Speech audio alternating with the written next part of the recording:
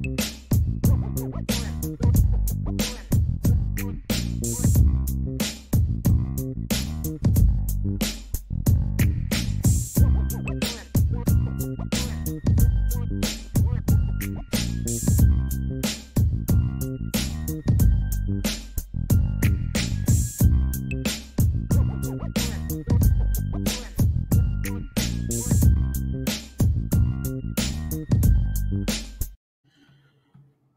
Welcome, everyone, to another edition of the Irish Breakdown Podcast. I'm Vince D'Addario. That's Brian Driscoll, and it's a Friday. Free for all mailbag, the best day of the week, baby.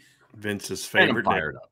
It is. It's my favorite day of the week, and it was. It will continue to be my favorite day of the week. But y'all can help me with that by hitting that like button, hit that subscribe button, all of the different things that you can do. Tell your friends about us, man. Notification bell because Yeah, we're gonna have a show tomorrow, so you're gonna want to. You're gonna want to Ooh, okay, we'll okay. talk about that as we kind of get started. Mm. We're gonna have a special show tomorrow. and it's not going to be a Garth Books pregame show. Like that's not what No. we're going to be doing No. tomorrow at all. No. Um, but uh, I actually met one of our uh, our avid listeners the other day. Came into school and it, we were talking. He's like, Just "I to see you. voice." He goes, "I know that voice" because he just Yeah. listened to it on the podcast. So he was didn't like, come in just to see you, right? He didn't just show up Yeah. at your high school. Like I'm Yo, looking for sure. Vince D'Addario. I'm a big fan. yeah, that would be real creepy. Um, but uh, it would. I would still give you know say, hey, "What's up?" Kind of cool. Kind of Yeah, no, it would be Don't cool, do it. No one do it. But It's amazing the people I see out and about that are like, Yeah. "Hey," I. But so it, Yeah. it's awesome. But anyway, we have a so- great. I, like I've told, I was joking so about this. The last four or five times I've been out in public, I've had someone come up and like, you know, you know, hey, are you? One guy didn't know who I was because I had just shaved my beard, and so he's like, IB. I was like, are you affiliated with Irish Brand? I said, yeah, it's I'm Brian, and and I love it because it It's just great. shows what kind of great community we're building, and I'm No I'm happy to know that there's local people that listen to our show too. Which I think is great. So I I love the community we're building, and it's a lot of fun. And we appreciate y'all being here no doubt. and I've had meetings this week with or last two weeks with people from SI. They're loving what we're doing. I've met with Blue Wire. Beautiful. They're loving what we're doing. I'm not meeting with anybody from Google. They don't care. so we have been, you know, we're good. With the people we work with on a daily basis are happy with the community, but it's because of the, what y'all are building. And so Yeah. uh, we just to give you an example of, of how great it's been last month in April, we had over 2 million page views on our message board and our website. Last year on our site alone, we had about 400,000. So it's been so much fun growing this, and we have a great community, tons of great conversation on the message board. But Yeah. right now, the focus is on our daily mailbag, and That's we have right. tons You of guys great drive it. already. You guys So are driving the it rocking show, and rolling. so let's let's go down the road here. Get it rocking and rolling. We're going to do recruiting and team both hours. You Why know, not? so we're just going to get rocking and rolling. And if something needs to be held over for when Ryan's on here, we'll hold it over, or we may ask it again if it's something that Why we'd like not? to get his opinion on as well. So, So, Vince, let's fir- get started at the top, man. absolutely. So the first question is not from John A one, which is different. So we'll, I love it. It's so Scott has a quick question here. He says, "Good day, IB. Do we have any recruits that have commitment dates set?" Yes. So this was not. I don't. I didn't know that this was supposed to be public, but uh, two four seven Sports does their commitment countdown thing. The the kids that are going to do it on their show, they put it out there once kids agree whether the kids have gone public with it or not. There are two Notre Dame prospects who are going to be making a decision here soon. Tomorrow, four o'clock is the scheduled time as of right now. Devin Houston is going to be making his commitment on CBS Sports. We will be live for that at four o'clock, so we'll carry that live and we'll talk about whatever his decision may be and then what it means for Notre Dame after he makes that decision. So that'll be at four o'clock. Notre Dame, Michigan, other schools are the ones contention. As we've been telling you for a few weeks now, love where Notre Dame is on that one. And they did a great job in that recruitment. Al Washington, Marcus Freeman both have done a phenomenal job in that recruitment. Chad Bowden as well has been very eh, instrumental in that recruitment. So they've done a great job there. Now it's about closing time, right? And we'll have more on that one tomorrow. Also on May 13th, Sullivan Absher is going to be making his decision. The offensive lineman from North Carolina, talented player, as we talked about before. Clemson was crushing that recruitment for a while. He had been on campus. He'd met Coach Hiestand, liked Notre Dame a lot. They made his top three, but Clemson was the team to beat. And Notre Dame did a tremendous job during his visit during the Blue Gold game weekend. We feel really good about where things stand with Notre Dame right now. Now, again, there is seven days left. And what I've always said is when commitments like this happen, and a kid knows uh, is making his decision, and, and schools know where they're trending, you got that last week to throw all throw everything you got at a kid, Absolutely. right? And so Notre Dame's going to have to do the same thing. Clemson's going to do the same thing. NC State's going to do the same thing. We've talked a lot about this on the message board. I believe we've talked about this on the show as well. Ryan and I both have uh, feel really good about where Notre Dame stands. We feel that coming out of that visit, Notre Dame put themselves in position to be the team to beat for Sullivan Absher. So Crazy. those are two big ones. I mean, those are two top 250 up. kids. Yeah, Devin Houston to me is is is underrated at in, as a top 250ish kid. To me, he's more of a top 150 kid. 6'5, 270, athletic really good. I mean, he, he, really good projection for the nose and the Notre Dame defense, but he's not a nose, right? I think he fits that nose position great, but you know, he's the kind of athlete he can play three technique. He can go out and play a five technique, Vince, and an odd front. Like he could play all he could play all of the power positions in the Notre Dame right. defense, right? But I love him for the nose position. But he's not pigeonholed at nose, right? He's more like Howard Cross than he is Kurt Hinish. You know what I mean? In, in that he can move all over. He's bigger and longer, than Howard Cross, but I mean, as far as positional flexibility, he's more Howard Cross than he is Kurt Hinish, who was more of a pure nose, or Jayson right. Ademilola, who's more of a three edge. I think Devin can bring a little all of that to the table. Really unique player, and you know, again, he's a, he's a Maryland kid. He's he's no. This is an area Notre Dame has to have more success, and and so hopefully this can be the first domino to fall. And we'll you know we'll have a lot more to say about his recruitment and what we know and backstory and all that kind of stuff tomorrow once he announces his decision. And Sullivan Absher is a guy that Notre Dame has been on for a while. Harry Hiestand loves him. You know, he's a, he's a kid that's going to need a little bit of work, Vince, because he's coming okay. from a triple option offense. You know, but he's a big kid. He's got to you know get his body reshaped a little bit. But man, he's powerful. He's quick off the ball. He plays tackle now. I think when you put him in a, you know, I, I think he's more of a tackle guard for me, right mm-hmm. tackle guard for me. I like him more at guard. I know other people like him at tackle. Notre Dame is recruiting him to play tackle with knowing that he could obviously move to guard. That's what Coach Hiestand does. Yep. And, yep. and, so I really, really like this kid. Really like this kid a lot. You know, he, he's kind of grown. He's one of those guys that kind of grown on me a little bit. You know, he's a top 250 kid, you know, good player, strong kid. He's another guy that Notre Dame has identified. I mean, this is a guy that Harry Hiestand early on said, Yep, I right. like that guy. Let's go get him. And and and you, you see why, Vince. He's he's a tough kid. You know, I mean, he's got a lot of technique work that that's going to be needed because he comes from a different type of offense. Right. But he's physical. He gets after it, and you know, with some work from Harry Hiestand and Matt Balis, I think he's got a chance to be a really good player. So those are the two Notre Dame players right now, Notre Dame recruits right now that have commitment set, and obviously the Notre Dame staff is going to try to close on those and continue to you know put themselves some distance between themselves and and everybody that's trying to chase them for that top spot. And we had a question from Keith Wiegand about uh, you know where he's going to be announcing from. I don't know the answer to that. Devin Houston. I don't know. He uh, Keith is from Hagerstown. I, I, don't know the answer to that, Keith. I have not. Devin has not tweeted anything about this, and uh, CBS Sports is the one that put it on. They didn't even announce. They just put it on their stinking commitment tracker thing hmm. that it's going to be tomorrow at four o'clock. So. Uh, but uh, that's what CBS Sports said. That's when they're supposed to carry it. As we saw with Braylon James, they change these things all the time. So that's why you need to make sure you stay you have the notification bell on so you can be informed when something like that happens and also why you need to either follow us on twitter be on the message board all that stuff. Because the one thing you need to understand is not every bit of detail goes on every platform. And that's why you need to be locked into as many of them as you can. So that is the latest with devin houston and Sullivan Absher. all right brian. Well uh, tb12 for heisman is jumping in with both feet here, wanting to know about a, a slew of recruits and Brian's confidence level uh, in them. He says, What is your confidence level in these recruits to end up at Notre Dame? Of course, Dante Moore, uh, Jagusah, M'Pemba, Ausberry, Downs, and Limar. So he's, he's going for the heavy hitters here. All right, what is my confidence level? So let's give a. I mean, let's. What's kind of a? Yeah, I was gonna say what what, what know, kind of scale uh, are we working with here? One to ten. Okay. And it's based on where things stand as of right now. Things obviously can change. If you would have asked me my confidence level in Devin and Sullivan Absher a week before he visited for the Blue Gold game, I would have probably said five. Right. You know, five or six. Like, look, you had a puncher's chance because he was coming in for the visit. And anytime Harry right. Hiestand gets a second face to face with a kid, and, it's and it's on, stuff. you know, it's yeah. it's it's it was a beautiful day, unlike in January 29th when he visited. It, you got a puncher's chance, right? Or the rest of the and, spring here. right.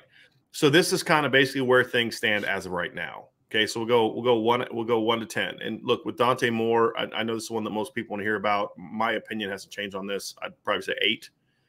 You know, I my I haven't heard anything in the last two months that's made me change my uh, confidence level where Notre Dame stands. I know other schools are in the mix and all this other kind of stuff, and he's playing the social media game a lot more now and all that. And I'm just look, I'm I'm sitting back and just letting it play out. And if I hear if I get intel that says something different, I'll I'll change my stance. Right. I'm not being stubborn with it. I just haven't heard anything from anybody credible that tells me that right. Notre Dame is not still, in my opinion, the team to beat.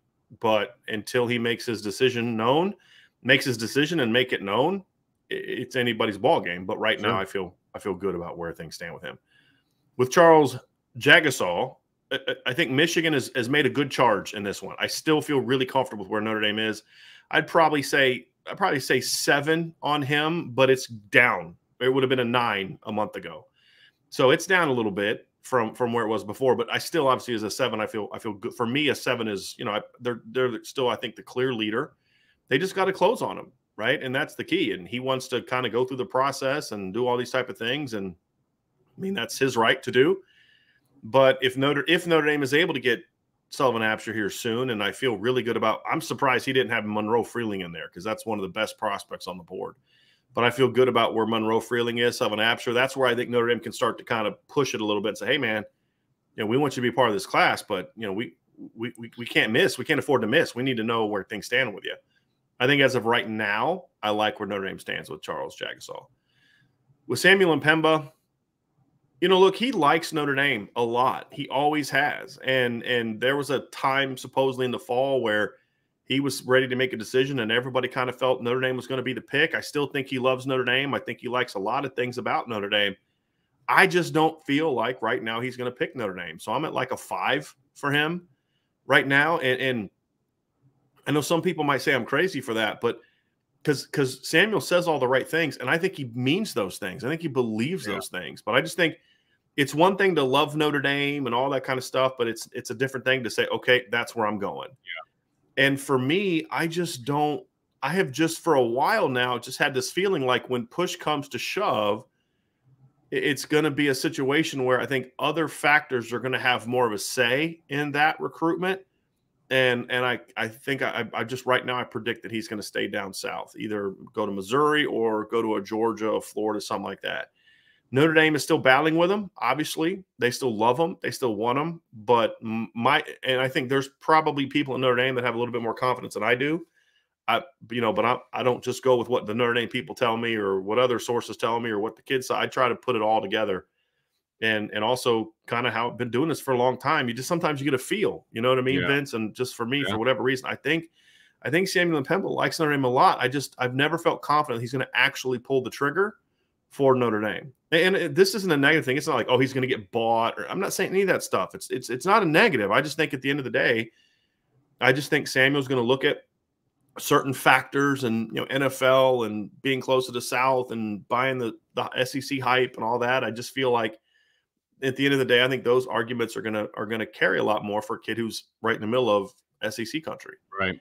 And I just I also wonder how much the Rover linebacker pitch is really working because I think other schools are kind of pushing, dude, you're an edge player. You know, you're you're a get after the quarterback kind of guy. And I don't know if Notre Dame can really sell that right now because they're kind of kind of full there right now. So I, I wonder if that this is again, this is just my opinion. I wonder if that's factoring into his uh, sort of why I'm a little uneasy on just saying, yeah, they're going to get him. But again, they're still fighting, and he loves Notre Dame. I mean, look, this is not a. He's never said a negative thing about Notre Dame. He's never said anything but great things about Notre Dame. It's not that kind of situation at all. I just think in the end he stays down south. I actually feel a little bit more confident that Notre Dame's chances with Jaiden Ausberry than I do Samuel M'Pemba. Hmm. I probably put that one around a six right now. Now, look, there's a lot of game left with him, and he's gonna. I mean, he's literally right there in LSU. Is I think his high school's like somehow connected or like right by LSU's campus they're not going to give up on him. But this when I when I when I look at this kid, I just for a long I mean a long time, even when I just didn't feel like they're going to get him, they had no shot because he's freaking from Baton Rouge. Pardon my language is a little uh, uh, unprofessional there, but like he's from Baton Rouge, right? Like I mean, he's from LSU's backyard. It's like there's no way they're going to get that kid. Is he the one that? Yeah, he goes to University right? Lab. Yeah, yeah, yeah, yeah. And so when I look at it, I say, you know, boy, that's a that's an LSU kid through and through. But then you get to know him, and you hear you talk to people that know him. He's a phenomenal student. Academics are super important to him and his family.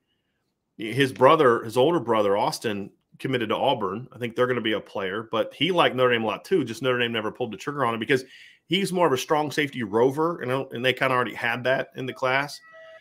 And so when I when I look at when I look at, at at, the situation, Vince, I I see a kid that to me is such a great Notre Dame fit in so many different ways. And it's like my initial, nah, I don't think they have a shot was more of my own BK PTSD. Like you're not going to go to into Baton Rouge and get a kid that LSU wants, whose dad works at like I believe his dad. Somebody told me his dad like works at LSU in some capacity. Like you're not getting that kid.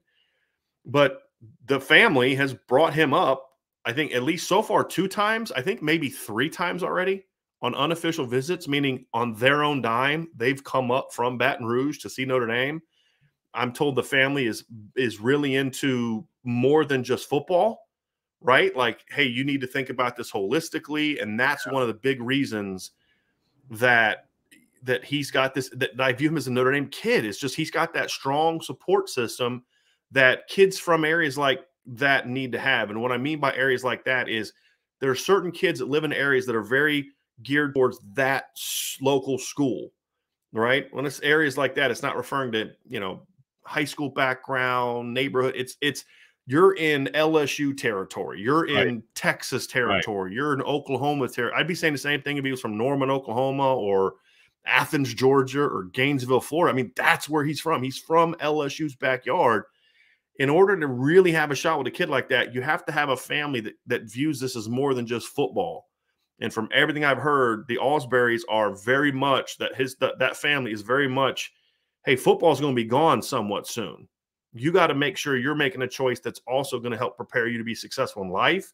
And kids like that are always going to to have that attraction Notre Dame. They have, I mean, and there's kids that have that attraction that their parents don't. And that's when those kids ultimately don't end up at Notre Dame. This is a situation where I think the young man and the family both get that. Now, that doesn't guarantee he's going to pick Notre Dame because as we've seen like Myron Rolle, Myron Rolle's a Rhodes Scholar. He's a surgeon. He still surgeon. felt Florida State was the best option for him in both areas, and that's that can be right. true for some people. So Notre Dame has a lot of selling to go there, and but I I feel better. I feel good about that Well, Not good, great, but I feel good about that when I put that one as a six. Caleb Downs, I'm still a three, and the reason is is I think he likes Notre Dame a lot. There's no doubt in my mind he gets along well with the Notre Dame commits. He's been on campus now three times.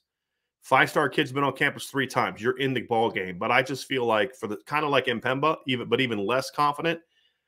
At the end of the day, it's going to be a school with a more proven proven track record of producing elite players that position. I know Harrison Smith and you know Kyle Hamilton, but I mean, I just I see I have a hard time seeing a kid from Georgia who plays defense not going to Georgia or school like that. I just I, I have a hard time with that one, right? But I will also admit that Caleb talks to almost no one. And I don't think anybody has a really good feel for that one. So you almost have to track his words.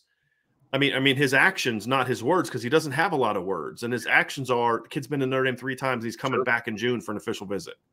So they're in the ball game there, and the staff has done a great job there. And this is probably me being overly pessimistic and my, you know, BK PTSD myself but it's also about following trends, you know. And I just, I, I just, I feel like he's going to stay south. I, I, do. Now he's got an official visit to Notre Dame, an official visit to Ohio State, and his dad coaches football. I think somewhere in Tennessee. So I mean, the family's got they're you know they they're not locked into Georgia like like uh, other kids that you know who may be from Georgia. But I just feel like at the end of the day, this is going to be a hard one to to do. Now, if I feel if we get if I get the same vibes coming out of the of the June visit that I had coming out of his most recent visit to Notre Dame, which was really good vibes. If I get those same vibes coming out of his next visit, then I'll bump this up. But I, it's just one of those ones where look, I'm always going to be honest with you guys. I could, I could pump sunshine up your, you know what, right now, and it sounds great. And then when he picks somewhere else, oh well, you know, it was true at the time, but you know, things change. That easy cop out. I'm gonna be straight with y'all. So I, that's just one that I have a I have a, a a tough time really saying seeing them closing the deal. But man, they have done a fun. Chris O'Leary, Marcus Freeman, uh, Chad or Chad Bowden. I mean, all the coaches have done of Mike Mickens. They've all been involved in this one. They've done a great job with Caleb. I don't think there's anything they can do different other than just move the campus about 350, 400 miles to the southeast. right. That's that's about it, you know. And I just feel like but man, they've done a great job on that one. I'm just not super optimistic about it. Jayden Limar, it's probably go nine right now. I, I, think you know, look, there's there's no such thing as a 10 unless a kid is committed, and even then, if he's taking visits, he's not a 10, right? And but I feel I feel really good about where this one's been going, and it's been going it's been going good for a while. Once Deland McCullough kind of zeroed in on that being the guy that I want to go with Cedric Irvin, I think they I think they put themselves in, in great, great position. He he was at Arizona this last week, and I believe he has one more visit set up. But I, I would I wouldn't be shocked if by the end of the month this one's over. And unless somebody, you know, look, there's other schools fighting for him, right? Like I said, he just went to Arizona. Arizona, people are sleeping on Arizona just in general. Arizona had a really strong recruiting class last year. They had three or four like top 250 caliber guys last year. They got a borderline five star receiver in McMillan, the kid from Servite. So they uh, Jedd Fisch has got an NFL background. He hired some really strong recruiters on that staff. So I don't just dismiss Arizona like some other people are, but I think they'd have to do a lot to overcome where Notre Dame is. There's some other programs trying to do the same thing, UCLA, other places. So they're going to have to fight off some people here between now and the end of the month. But as of things stand right now, I, I feel super confident in, in Jay Limar. So if I were to rank them, comp, most confident the least confident, Jay Limar number one, Dante Moore number two, Charles Jagusah, number three, Jaiden Ausberry, four, Samuel M'Pemba, five, and then Caleb Downs, six. So that was a long answer, but I think hey. I gave you a ton of good, juicy nuggets there from a recruiting standpoint, and I think it was worth it. Detail. I love it. Love it. Let's see. Leopard Irons. Irons, excuse me. Leopard Irons. I know Mayer is the best player of the best in the country, but do you think he's good enough that Coach Holtz would have thrown him the ball Keep up the great work, fellas. Nope. nope. I'm just going to give you some data here. All right. When you think of like all the great tight ends, there were some great tight um, ends there when Lou Holtz was oh there. my gosh. Yes. Okay. Yes. So I'm, I'm going to give you this is a this is a great comment. And I love I love that's like a perfect Irish breakdown, like um level of like uh like sarcasm there that I just I'm all for. I, I just absolutely absolutely love. I am all here for that. But let's think about this. They had so Irv Smith was a, a first round pick, right? I'm going to try to pull up Notre Dame's first round. They had Irv Smith was a first round pick. Eric Brown was a first round pick, right? And I'm gonna let me just pull up this draft history website here real quick and find the Notre Dame guys. So if you look at the tight ends that were drafted under the Holtz in the Holtz coach Holtz era, so you had Pete Chryplewicz, right? He was oh, he was he was drafted in 1997. So I'm just trying to find all these all these guys' stats just so you guys can understand. He was a fifth round pick. And then obviously Irv Smith was a first round pick. You had Derek Brown was a first round pick. And back to back years, Notre Dame had top 20 picks at tight end. And then they also had Oscar McBride, who was not drafted, but he spent some time in the NFL and he was a starting tight end. I was giving him a hard time watching him uh, have a great block against Florida State. Oscar in his career had 18 catches for 140 yards. Career. Right? Right. first career. Pete Chryplewicz had 48 catches for 580 yards in his career. His last his best year was 27 catches, 331 yards, which was actually better than Irv Smith's best, best year. Irv Smith's best season at Notre Dame, he had here. Here's Irv Smith's four years at Notre Dame: one catch for six yards, one catch for six yards, six catches for 86 yards, 20 catches for 262 yards and two touchdowns. And he was a first round NFL draft pick. Derek Brown, also a first round NFL draft pick. He had more production overall, but never a big, big season. In 88, he had 12 catches for 150 yards, three touchdowns. And next year, 13 catches for 204 yards. Next year, 15 catches for 220 yards. The next year, he had 22 catches for 325 yards and four touchdowns. He was a first round NFL draft pick. And then you compare that to old Michael Mayer mm-hmm. right? So for his career, Irv Smith had 62 catches. I'm sorry, uh, excuse me. For his career, Derek Brown, who was the most productive tight end of that group during the time, had 62 catches for 899 yards and eight touchdowns.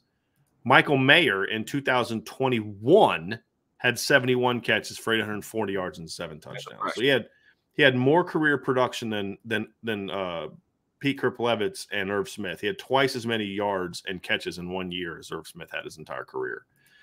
And and he had more catches and, and fewer yards than, than Derek Brown had a first career, but only by 59 yards and only one fewer touchdown in one season. So, yeah, the offense is a little bit more tight end friendly than it was for Coach Holtz, and that's one of the things. And I love that Le- Le- Leopard uh, that Leopard Iron said that because you know there's this thought that you know Notre Dame produced great tight ends, and they did. They just didn't throw them the ball a lot. Right. And now when they did, they they had some big plays. They didn't throw them the ball a lot. So. Uh, love love that comment and appreciate the, the kind words. And, and it was funny. I put a thing out, a tweet out yesterday, and, and it was about Michael Mayer, and it was a, a, draft preview by by Ryan, and it was like, you know, Michael Mayer has a chance to be the nation's best tight end this year. And there were people that were like real salty about that. He already was the best time. I'm like, okay, you may think so, I may think so, but there's a lot of people that don't outside right. of the Notre Dame universe, which speaks to that bubble that I had. And it's like you can disagree with me and not be a right? not be a not be childish about it. You know yeah. what I mean? It's like he's already the best tight end. Oh, that's debatable. Was a third team All American, wasn't a finalist for the John Mackey Award. Right. So clearly there's some people that didn't people, think he was the best tight end. And I also think that thought process takes away from the fact that there's actually still room that Michael Mayer can get better, which is oh, yeah. a really scary thought for the rest of college football. Like a better version of Michael Mayer, right? You know, yeah, yeah. yeah. And, and, and David Knight said this you know, Derek Brown was a physical specimen and really got the ball. Derek Brown was six seven. He's from the Miami, six seven and athletic. That David is absolutely correct on that. He was a, a physical specimen and a heck of a player, but he just just never got the ball. Never got the ball. And Jabari Holloway was was a was a later. He was not part of the Lou Holtz era. He came he came a little bit later. But how about that? Pete Chryplewicz had more had a better individual season and better than than Derek Brown or or Irv Smith ever did. Funny stuff. Yeah, that's funny that's stuff. Option football for you, buddy. Yeah. All right. Go. Well, I hate it.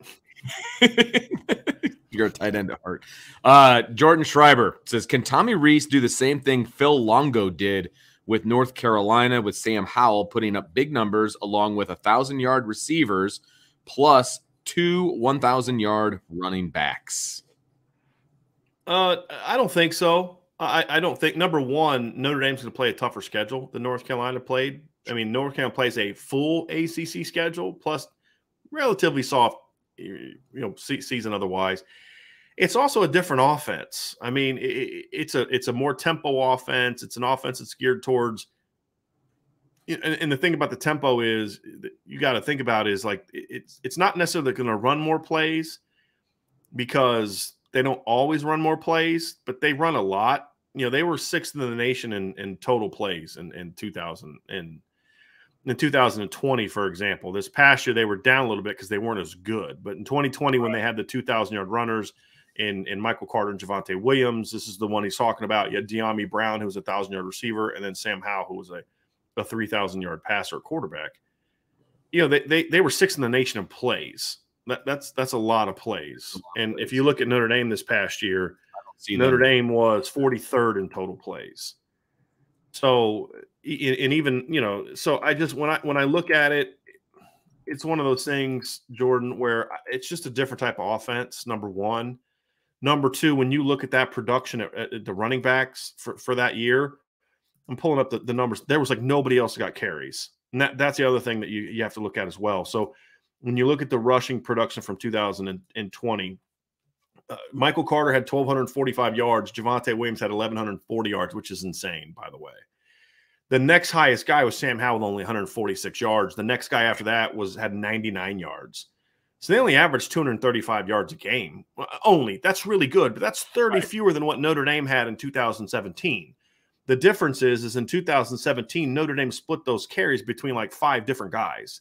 Right. And and to me, that's a bit of a difference. And and so, like for example, this year, could if you were to tell me that between Tyler Buchner, Chris Chris Tyree, Audric Estime, Jadarian Price, and then whenever Logan Diggs gets back being healthy, if you were to tell me that Notre Dame's going to average the same number of rushing yards that that North Carolina had in 2020, would I believe it? Yeah, I'd believe it.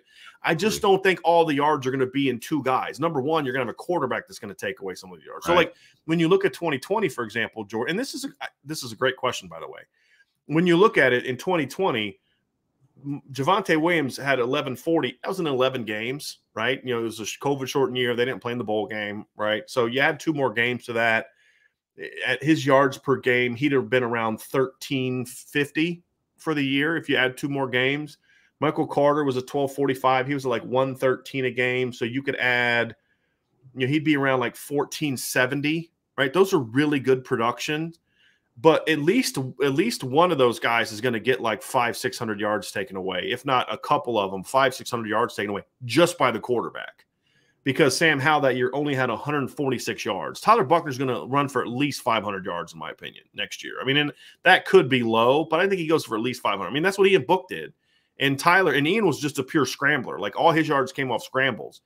Tyler will have some scramble yards, but he's also going to have some designed run yards. Ian was not good on the read zone. Tyler is really good on the read zone. So that's going to factor into it too, Jordan, is just – and then that doesn't even include the, the next highest running back only had 99 yards. So the third running back had 99 yards. There's no way in heck that Notre Dame's third running back in 2022 is only going to have 99 Absolutely. yards. Yeah, agreed. So that's the reason it's going to be challenging. You know, could Tommy Rees do it? I guess if he wanted yeah. to force it, but I just don't think that's going to that's going to be the best thing for Notre Dame. Now, could they have – a thousand yard rusher, an 800 yard rusher, and a thousand yard receiver. That's possible. Sure. That's possible. But again, I think when you look at North Carolina that year, they throw the ball, they threw the ball a ton, right? But the other thing is they had only two guys over 350 yards receiving. It, it was like it was one 1099 by Dyami Brown. Dazz Newsome had 684. And then after that, it was like 337, 305, 267, 255. I mean, you're you're going to have the ball spread between more than two guys in, in this offense. I mean, the, the backs are going to touch the ball as North Carolina's did. You're you're going to have Lorenzo Styles, Avery Davis, Braden Lenzy, you know, right. potentially Deion Colzie, potentially Tobias Merriweather, potentially Joe Wilkins, the tight end you know, all those. It's just, I just think the ball is going to be spread around more. Where a ton of the production for North Carolina that year was given to four guys the two running backs, Dyami Brown and Dazz Newsome. And, you know, and Dazz Newsome had six, only 684 receiving yards, you know, but he, he also was a punt returner and, you know, and, and that kind of thing. But like a lot of the production was, was on offense was between four guys. Right. And really three guys plus Dazz Newsome is really the better way to say it with Notre Dame, I just think the ball is going to be spread around a ton more. And that's the reason that I that I don't think Notre Dame would do that, be able to do that. And and again, because they're not a tempo offense, they're more about efficiency and explosiveness. We've talked about that. You know, precision over tempo is more of Tommy Rees's thing. I think that's going to be uh, another another aspect of it as well. All right. Toe Jam 1992 was a good year. Brian, what are the most accurate descriptions for the style of offense and defense we will be running next year?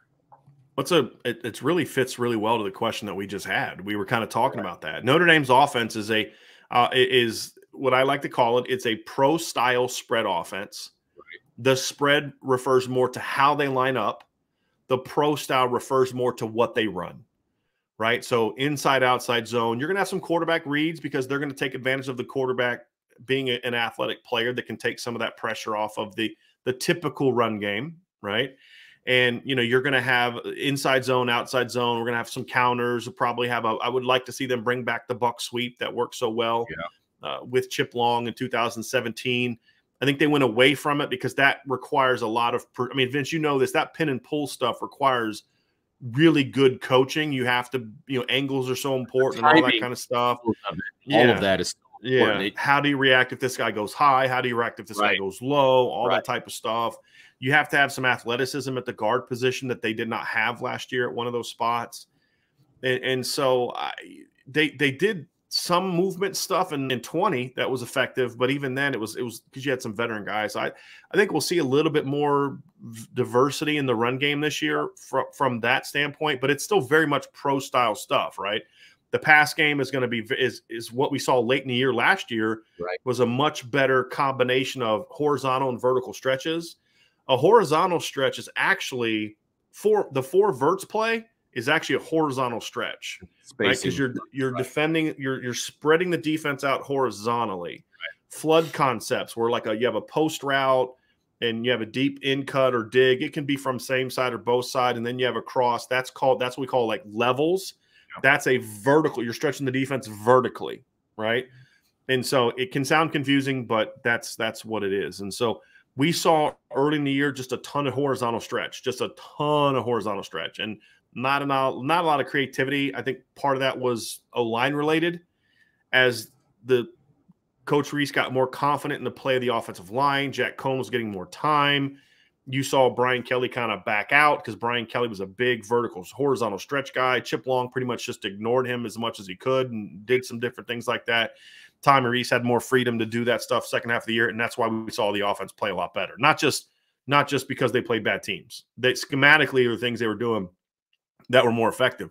So we saw Tommy Rees doing things like using a, a, a, post route as a clear out to bring Kevin Austin, you know, on a deep drag, and then using another, you know, using Michael Mayer on like an out cut to get that defender. So you so you had Michael Mayer and Braden Lenzy on one side, right? And Braden Lenzy runs a post to take away the deep coverage. Then Michael Mayer runs a 10 yard out cut to either freeze that corner or to take that linebacker with him.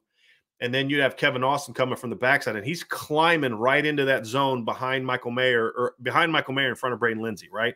Like that is that is a you're you're using now. Now, if you get a one on one, you may bang that that one you know that throw to Michael Mayer, and if if you see you know zero coverage, you can still bang that post to Braden Lenzy. But the the the, the, the throw is designed to say, hey, let's get this going so we can open up this clear route to Kevin Austin.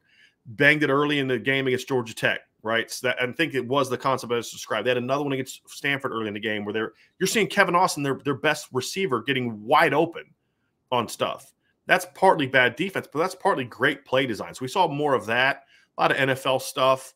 You know, there's there's a lot of triangle concepts. We saw a lot more of that. RPOs became much more a part of what they do. So uh, that's where I say pro style, a, pro style spread offense. Defensively, I don't really know what they're going to be next year. I, I'm, I'm pretty confident they're going to be a four down defense. I can still feel very confident saying that. I think we'll see some different looks. I think, from what I'm told, a lot of what they're doing defensively in practice, they did not do in the blue gold game. So, uh, for obvious reasons. And so, I'm not going to get into what we saw because I would like to still have people that talk to me at Notre Dame. That's a good thing. But uh, it, it's gonna it's gonna look a lot different in a lot of different ways, and and a lot of it's going to be personnel related. You know, they have weapons at linebacker this year, mainly Marist Liufau that they didn't have last year. You've got JD Bertrand in a position. I think he I think he will end up at Mike. I think he'll be better there than he was at Will. Prince Kollie's ready to play. So you have a lot more length and athleticism at linebacker this year than you did last year. So I think that that you're going to see Coach Golden have more kind of toys to play with. You know, beginning last year, there was no Ramon Henderson at safety, there was no Xavier Watts at safety. So there's right. just a lot more toys to play with for Al Golden than what Marcus Freeman had at the beginning of last season. And so, you know, that there's there's um there it's it's going to look a lot different. There's it's going to look a lot different. I, I will. I know this isn't the answer to the question, but the defense is going to be fast and athletic. Like that, mm-hmm. that's what I see from the defense. You know what I mean? And I know that doesn't answer the question, but it's going to be so much fun to watch this defense. I'll say mm-hmm. that. we got a we have a super chat from Charlie we have a couple. Weis. Uh, our our guy Zachary Whitfield's in the uh, in the chat. You know, so uh, Charlie gotcha. Weis's last belt loop is trying to see if we can send him a, a fan application. So be nice, be nice, everybody. And then, and then we had, we had another super chat uh, I want to get here from from your boy, just your just your ordinary Joe. Your ah, Joe. nice. He says, uh, "Thank you for the super chat." By the way, he says, "What characterizes programs that have great quarterback development? What features or activities are in common among them, and how does what Tommy and ND do compare?" It's a deep question. Very good question. And if you know Joe, you would expect nothing uh, less. Nothing less, absolutely so Joe, for me, the great the great quarterback developers have a process that they believe in, right? And the process doesn't change no matter who your quarterback is. Now, if you look at like Lincoln Riley, for example, who I thought did a pretty good job developing quarterbacks at Oklahoma, the offense he ran with Baker Mayfield compared to Kyler Murray had a lot of different variations, right? Like there was more quarterback runs with Kyler Murray because he's a more dynamic athlete, where Baker didn't. You know, Kyler's a more dynamic overall player, and so they took advantage of that. And so then you look at how, but they were both incredibly successful. Then Jalen Hurts shows up, right? And then he has success doing what he does. And then you say, okay, well, man, they just they keep pumping out these quarterbacks and and it, you know tinkering with the system and this, that, and the other thing. But there's a process in that whole thing that that that they stick with that works for them. And there's certain principles. There's way that you process reads. There's way that you process information. There's focus on fundamentals and technique and getting guys to play the game the right way. There's balancing, making sure this guy really understands all the intricacies of the offense without putting too much on him. And I think that right, right there that right there was always the biggest problem under Brian Kelly. He put so much on the shoulders of the quarterback. Like they had to know, like, and people ask, you know, what, what was so complex about it? I'll give you an example. We've we've used this before. You could have a guy line up at receiver, and depending on what the defense does, he got three to four different options. And I'm not talking about like how I would teach it and how other coaches teach it, where I've got a corner route, but if the guy plays deep I'm going to kind of bend it at a 45 kind of degree angle to fall underneath that cover two corner and you know over top the cover two corner, but also you know underneath the cover two safety. If if that guy's playing man coverage, I may stick it and take it high, right? If if if the corner's bailing and the safety's also maybe you know coming up, I'm I'm going to have to break it off at a different route there may be times where you completely change it to an outcut, right? But it's the all within the same framework of that particular route. What I'm referring to, that's not what I'm talking about. That's something most coaches teach. What I'm referring to is he may run a corner, he may run a post dig, he may run a slant, or he may run a post route, depending on what they do. That's four completely different concepts based on what the coverage is. So if you're the quarterback, you don't really know what he's doing until you see where he's because you may think he's supposed to do this, but if you're not sure what he's going to do, you're going to be a little less likely to hold on to that football or to let go of that football on time because you're you're throwing a corner out, he's running a post route, and and you're going to have some uncertainty. And that's part of the issue that Ian Book had. The other part is he just he wasn't a guy that was really good at at processing information. If we're being if we're being completely honest with you, but you know you you look at it, there was a lot of full field reads. Where at Oklahoma, it's once you've made your pre-snap read, you got one, two. I mean, you're going here to here I mean that that's it. It's not super complex. Maybe a third, but it's it's all here, you know, or here here backside post, right? Like that kind of thing, Vince. Right? Like stuff that you know you could teach at a at a smaller school or things like that. Like quarterbacks can do. Like you're reading this, but if that safety comes down, you know that you got that backside post, so we can go we can go bang it back to right. And and that's not. I mean, it, it's not super complex. You you have some protection stuff. The Notre Dame quarterbacks have to know. So if they do this we make this check. If they do this little thing, we make that check. If they do this thing, we got to make that check. And it can be sort of overwhelming. You can, yeah. And and and, and, and that's a reason why uh, for a lot of Kelly's career, their best seasons were with first year starters at quarterback because they, they, had to dumbed it down. I mean, right. Black had to, term, but you know, had to. Had to. You had yeah. to. You had to lessen the playbook. You had to lessen the responsibility of the quarterbacks. You just let the kids play. Right. And that's also why every kid regressed the further he was into the system because they put more and more and more on as opposed to them just getting better at what they were doing. Right. Now, my and here's the interesting thing. So Tommy Rees gets a lot of flack for quarterback development, which I understand. I don't think it's necessarily accurate though. And allow me to make my case. Number one, he had Brandon Wimbush really for a year or two years Brandon Wimbush was ruined by the time Tommy Rees showed up. And Tommy at the time was like 25 years old. It was really his first full time coaching job. Okay. And Brandon Wimbush was a completely different type of, type of quarterback than, Tommy Rees had ever worked with. I mean, he, he, he himself, eh, Brandon wasn't like Everett by that point in time. Mike Sanford ruined Brandon Wimbush, ruined him mentally, mechanically, in every way possible as a quarterback. I can't expect a 25. I couldn't have fixed that at 25. I feel like I could have fixed it, you know, after coaching for a number of years, but I couldn't have fixed that in my first year as a coach. And I think Tommy Rees could probably do a better job fixing that now that he has a little bit, you know, five years of experience under his belt. But since Brandon Wimbush, we've seen Ian Book have success that he's had. And, and I'll be honest, I think that Tommy Rees got as much out of Ian Book as there was to get out of Ian Book. Because I don't think the things that Ian struggled with were things that Tommy Rees could fix. If a quarterback doesn't process information well, that's you can make you make it a little bit better, and they did, but you can't necessarily fix that. Some kids just can't not everybody can read a defense like Joe Montana could. It just it's just right. a reality. not everybody can do what Tom Brady did mentally. That's what makes those guys so great. Right. And and so with him, I think he got the most out of Ian Book. And now Ian didn't necessarily improve because his best year was his first year, but I think part of the reason his year his first year was the best year is that was probably the most talented team he was a part of offensively, for being honest. You had you know Dexter Williams at running back. You had Alize Mack at tight end. You had Chase Claypool. You had Miles Boykin. You had Chris Fink. Those are all NFL players right now. Then you had Kevin Austin off the you know coming off the bench. You a, you the offensive line was still a year removed from Harry Hiestand, so they still had a lot of Harry Hiestand influence. And you know, I thought Ian and Chip Long did a really good job of not asking Ian do a lot. I mean, they there was one game, I think it was Navy, where Ian Book went like nine of nine on RPOs. There was another game he was like 10 of 12 on RPOs. I mean, so he wasn't asking to, and then then they eliminated RPOs from the offense in 19 and 20, which is still kind of weird. Don't understand at all because that but it was successful in 18 yeah so so i i view him like i think he got the most he could out of ian book and then we saw with jack coan last year he was making a, ch- a transition from being an under center quarterback at wisconsin to a shotgun quarterback at notre dame Right. I think early Jack had some. Jack had a bad line. He was getting used to playing with those guys. The offense was being somewhat bastardized by Brian Kelly because he still wanted to have his say.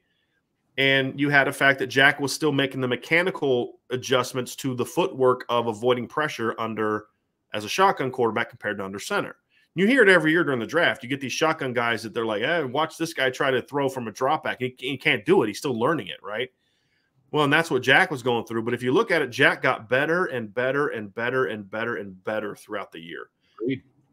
Here's another thing I like. I think Tommy Rees can be a little too hard sometimes on quarterbacks. I thought that early in his career, especially because he, you could coach him hard. Like Tommy, you could, because Tommy would give it right back to you. I mean, there's how many times do we see Tommy and BK kind of going at it on the sideline when Tommy was a quarterback? Because he's a very confident kid. He could take hard coaching. And sometimes when you're a young coach, you're going to coach kids how you like to be coached or how you could be coached. And I think, and we True. saw, we heard something last year where Jack Coan went up to Tom Rees was like, hey, come at me like you win at so and so, like you win at Ian. Because he, you know, Jack's a quiet kid. He's not a real, like, intense kid. Like, you know, you, you, and you worry about kids like that. And he always kind of has this, like, you know, he's got those bright eyes. You just, you, you like, okay, I don't know how hard can I push this right. kid. And so Tommy didn't go at him as hard right away that tells me he's being thoughtful about, okay, I want to make sure I don't break this kid. Right. And then you have Jack comes and says, Hey, I want you to push me. Okay. And, and, then you realize, then you realize, okay, his dad's a cop. He's he's he's a lot tougher than I thought, maybe, you know, mentally tougher than I thought. Okay, let me go at him. And then, you know, and then you develop in that way. So that showed me that he understands you can't treat every single kid the same. You treat them all fairly, but you can't treat them the same. Every kid's going to respond to different cues. Every kid learns. Sometimes if you yell at a kid, his ears shut because he had a an abusive parent or an abusive coach or sure. or, a, or a, you know some kind of tough life where when a male figure starts screaming at him, he just shuts down. Yep. I, I had a situation like that, and my best receiver one year was that kind of kid. Where my other top receiver was uh, his dad, I think, was a drill sergeant. That's all he knew. So like I had to treat those two kids real different. They were I treated them both fairly, but how I communicated with one guy was completely how I communicated with a different guy. That's part of the process of learning. I think Tommy's getting that. So, and, and I think the technique is good. Like I've never watched Notre Dame's quarterbacks the last couple years. like, man, their footwork sucks, or man, they, you know, their their release point sucks, or this is different, or that's weird, or the, the other thing. And so I'm going to be honest with you. I, I actually like the job Tommy has done. I wouldn't call it a great job yet because we need to see the production get better.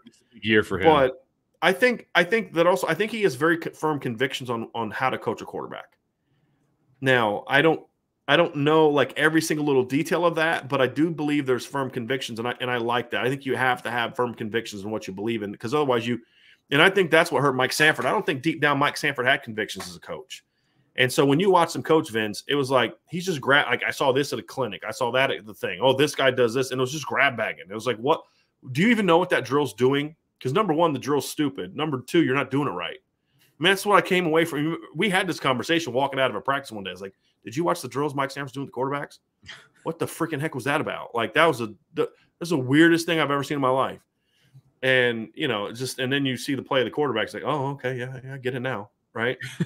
so, um, it, it's consistency, attention to detail, pushing them to the point where you've max where, where where where they know as much as they can, but then not going past that point where you overwhelm them. I think all those are very important pieces. We're getting some great questions today, Vince. We're getting some really can good I, questions, but that was a really good one as well. There's a good question here coming up about Everett Golson, and sure. um, I, I want to transition to that. Yeah, and and I want to talk about Brandon Wimbush because you know you talked about how how Mike Sanford ruined Wimbush, et cetera, et cetera. I remember telling somebody when Wimbush was coming in that man, I think this kid might be one of the better quarterbacks in Notre Dame history. Like I thought that he had the tools to be, you know, to throw it, to run it, to do all of these different things. I was so excited about Brandon Wimbush, only to be disappointed by the way he was coached and used and ruined for you know to use your term. I mean, it, it that was that that might be one of the more disappointing outcomes of yeah. my life following Notre Dame football. Yeah. You know, from a guy that I was really excited about. Well, here's a question that just popped up, Vince, and this is from Josh Buffo, the motivational business banker. What was the biggest waste of talent in Notre Dame? I mean, Brandon's in that conversation yeah. for me. Yes. Phil is too. Yeah. That's but Brandon Brandon is is in that conversation because and David David Knight brought this up earlier. I mean, go back and watch Brandon Wimbush against IMG Academy as a senior. He's playing at IMG in the rain and he compl- and he passed for over 400 yards. Right. At IMG Academy. Right. Right. Now IMG wasn't quite what it is now at that time, but it was really good. Still, they had dudes. And and you watch him on national TV against Bergen Catholic, and he's just embarrassing Jarrett Guarantano. I mean, just shredding him, just ball placement, just playing great. And then I remember I had a conversation with one of the newer coaches, and I don't know if I've said the name before in the past. I don't know if I've told the story in the past. But I remember having this conversation, and this guy was like, just really being, man, man this kid really struggles. How's this?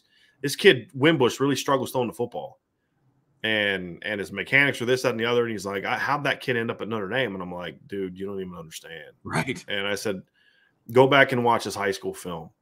And he's like, man, I said, go back and watch his high school film. And he did. And he came, he called me up. He's like, dude, that I don't know who that kid is.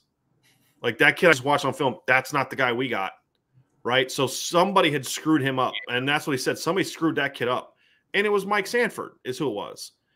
So yeah, I mean, so disappointing for me. I, yeah, I was so excited about Brandon coming in. I mean, oh gosh, so and, and, of course, and this is just adding to it. Really, is, is his makeup as a human was fantastic. You know what I mean? He's a right. great kid, and we see that now with what he's doing after school. But uh, I, that was just so disappointing for me yeah. overall. And somebody asked what we mean by ruined. Uh, it's a good, fair, very fair question. Absolutely a fair question. His mechanics were uh, they changed his throwing motion, right. throw, changed his throwing like dramatically changed his throwing motion, and he never got comfortable with it. And it shattered his confidence. It, it, it, hurt his release point. He couldn't control the ball. Right. His release point stunk. He couldn't he couldn't find that like so to me like we were talking about this with a pitcher in a, in a uh, quarterbacks yesterday, like where a quarterback will get to a funk and he's got to get himself out of it. But you're getting yourself out of it because you you you can get back to your happy place, right? Like you get back to your sweet spot. Where, right. oh, that felt good, right? Like you ever been? I mean, you're a baseball guy, Vince. You ever get in the batting cage? Like, man, he's. I'm just like I'm. I'm not feeling my swing doesn't feel right, right. today. Yeah. And then you do make, and, and you're like, oh, okay, okay. That, there we go. I, am assuming golf is that way. I've never actually had a sweet, sweet swing as a golfer. like I hack at it, but I mean, I'm assuming golfing same way. Anytime that you have some sort of uh, thing where your whole body works together to accomplish a task, uh, basketball shooting, that's another right. one. Man, my shot feels off today. Like I'm missing it. In my and then you, you're like, okay, let me get my mechanics back, and then I'm good to go. And then, okay, yeah, that felt good. It, it feels good when you get back to it. But when you change a guy's mechanics like Brandon and he gets out of whack, there's no happy place to go back to because you've taken the happy place away. You've taken the sweet spot away. Eh, his footwork was ignored basically for two years until Tommy Rees showed up. And uh, his confidence was shattered because they right. were just, I mean, just the way that Brian Kelly interacts with quarterbacks. Uh, right. Uh, you, you, like, you know, and he came from, Brandon came from a great program at St. Peter's Prep. He knew he was like, this doesn't make any sense right? Like it was it was just all of it, confidence, mechanics, throwing motion, all that stuff. And so that's what we mean by ruined, right? And and so and here's the thing: if you're not comfortable with your throwing motion, you're you're always thinking about it, which makes it harder to read a defense. And so th- that's what we mean by ruined is just mechanics were thrown off, throwing motion was changed. He could never get his release point back. He could never. It just it was always a mess. It was so, always yeah, so disappointing. That's why when when Brandon did make throw a great deep ball, a, a, a, great throw. Normally, it was a deep ball because that's the one time he could kind of just get back to that happy place and let her rip, right? But even then, accuracy on deep balls wasn't great, right. but it looked great coming out of his hand sometimes, and so that's what we mean by that. Really, really good, really good follow up question. That was Ian Johnson asked that follow up question about what that means. Nice, nice, and and, and Shane sure O'Shea, the only person thinking that. Yeah, right, right, absolutely. Shane O'Shea is he says, "What were your thoughts on Everett Golson?" I thought he was going to be great. He seemed to have it all. So on Everett, Vince, I don't put as much of that on Brian Kelly. Now, look, they weren't great at developing quarterbacks back then, but Everett kind of made his own bed in a lot of ways. I mean, we talked about this. I, Brian Kelly was too hard on quarterbacks. Everett was the exception. I mean, you'd watch him on the side, and he's trying to be calm talking to Everett because he knew Everett was just mentally not a super tough kid. And he tried to be calm and you know sometimes you, you lose it but like he tried to he he was way softer on everett than he was any other quarterback he's ever had. I mean, just i mean that was obvious to see. You know but everett everett was a kid that the team believed in. They rallied around him in 2012 and then he went out and got suspended for 2013 because of his own decisions. No, no one forced him to cheat. No one forced him to, to do what he did he made that choice and it got him suspended he made the choice to go work with george whitfield Right. Horrible decision. George Whitfield to me is is not someone I would ever let anyone I know work with as a quarterback coach. I mean, it's all hype. Uh, very few success stories, in my opinion. I usually see kids work with him, come back, and they're a hot mess. Johnny Manziel went through that. Johnny Manziel regressed after working with George Whitfield. Yeah. And then Everett came back, and somebody had convinced Everett that you're a drop back passer. And, and, and, and he could have been, but you took away, he overly took away his ability to run and it took away from his game. And then the other thing is Everett wasn't Everett. I think the time away, Everett not never got back kind of a rhythm of like he, reading. He would make mistakes that you just you don't expect him to make. Some of it was trying to force stuff. And right. then the final thing is is you can't have a quarterback that lacks mental toughness. Because when you have a quarterback that lacks mental toughness, a game like Arizona State can ruin you. And that's what happened to Everett. The Arizona State game ruined him and the pick six, like, and, and the thing is, it shouldn't have because he played terrible in the first half. They fell behind 34 to 3. But he's primarily the reason they got it back to 34 31 is because he made some phenomenal, phenomenal throws. But Vince, he just never, he never kind of mentally recovered from that. I mean, yeah. he was always a bit of a turnover guy. You know, I mean, he always kind of, you know, he turned, you're like, oh, like I'm, was it the game against, um, in 2014 it was Syracuse game, right? Where he he completed like 20 some like 20 like 20 something throws in a row. His That's final right. stat line 32 of 39 for 362 yards and four touchdowns. Only threw seven interceptions or seven incompletions. Two of them were picks. Cuz he just you're like what the heck like you just made all those great throws. What what was that? You know, so he always had that in him, but then he had the four picks against Arizona State and even that next week against Northwestern, he put up good numbers, but yeah. he just he wasn't the same. He just and, and, by the time you got to the USC game, he was shot, mentally shot. I don't blame Brian Kelly for that. You got to be tougher than that mentally, and I, and I don't think ever was. Played a place and I think Dame. he, yeah, yeah. And I mean, he, and he just position. Period. Don't get me wrong, but like, but especially at Notre Dame, right? right. It's like kicker. I mean, it's you know, we're, we're Blake Grupe was a super accurate kicker at Arkansas State. We'll see if he can do that at Notre Dame. It's balls the same Little, size, field the same size, goalpost the same size, crowd ain't the same size, the pressure's not the same size, right? right and exactly. so it, it's a different animal. So it, it, it's going to be it's going to be interesting to see. I think this is a big year for Tommy Rees in quarterback development. I, I really not do. agree. Right, and, and it's partly why I'm like, confident this season, Vince. I feel like that's a show for us coming up, just to be sure. putting it out there because we did a. Yeah. Remember, we did a, a, Jeff Quinn. This is a big year for Jeff yeah. Quinn offensive line. I feel like not with the same. No, um, no, not, not in the same vein, But Right. I also feel like this is a big year for Tommy Rees and the quarterback. Yeah. Yeah, because what we said last year was like all the all the Harry Hiestand guys are gone. All the guys that Harry coached and all that that that he was the primary driver for, they're gone. We're gonna find this is gonna be your line, and we're We gonna find out. out. what it's about. And it was crap. We did. We found out. Just saying, we found out, man. It was not good. We, we- It was found not out. good. Yeah, and it, let's get to some more questions here, Vince, before you got to get out of here. Yeah, sounds good. And Max says, do you believe the NCAA announcing NIL infractions will be retroactive? Will have any effect on how schools utilize it moving forward? Not that they have any teeth really at the moment. Well, I mean, hopefully they can get some. Wh- wh- What he's referring to is is there's supposedly like the the, the schools right are are pressuring the NCAA to try to start enforcing rules and then make harsh rules, but then make them retroactive. So, like, if you get caught, if, if we find if we make these rules and you cheated, we're gonna hammer you for it. Really The problem I mean, is they're like that. severely understaffed in that regard, so they're going to have to commit more resources to it. And the other part is, I just don't think they have the cojones to to do anything Right. about it. I think I think this is all for show. I think this is this this is the schools because again, here's the thing: the schools can do something about it. If you care, hey, you know, because here's the problem: the schools that aren't doing that don't want to do anything about it are the ones cheating right, right? But if. USC's president or AD cared about the rules, he called Lincoln right. Hey, this better stop. Right, And if any, if, if what I hear about what Jordan Addison is going on, then you know you, you, Man, we're going to be the ones to deal with this. They don't up. care. Yeah, Like if, if Georgia, if the people, the leaders at Georgia or Alabama or Tennessee cared about the rules and the respect, they would do something about it within their own program. Clean up your own freaking program. That's the thing is we can talk about the NCAA all we want, but the at the end of the day, the NCAA is made up of member schools and Sure. people from the schools. And I'm so sick of people in America at every at all the leadership, whether it's politics or whether it's schools or coaches or whatever else, always looking for somebody else to fix a freaking problem that they can fix right? Hey, SEC, right? Because the the clown from the SEC is one of the people going to Congress to have them do something. Here's what you can do: get all the flipping presidents into a Zoom call and say, "Hey, fellas, if you guys don't clean up your own situations."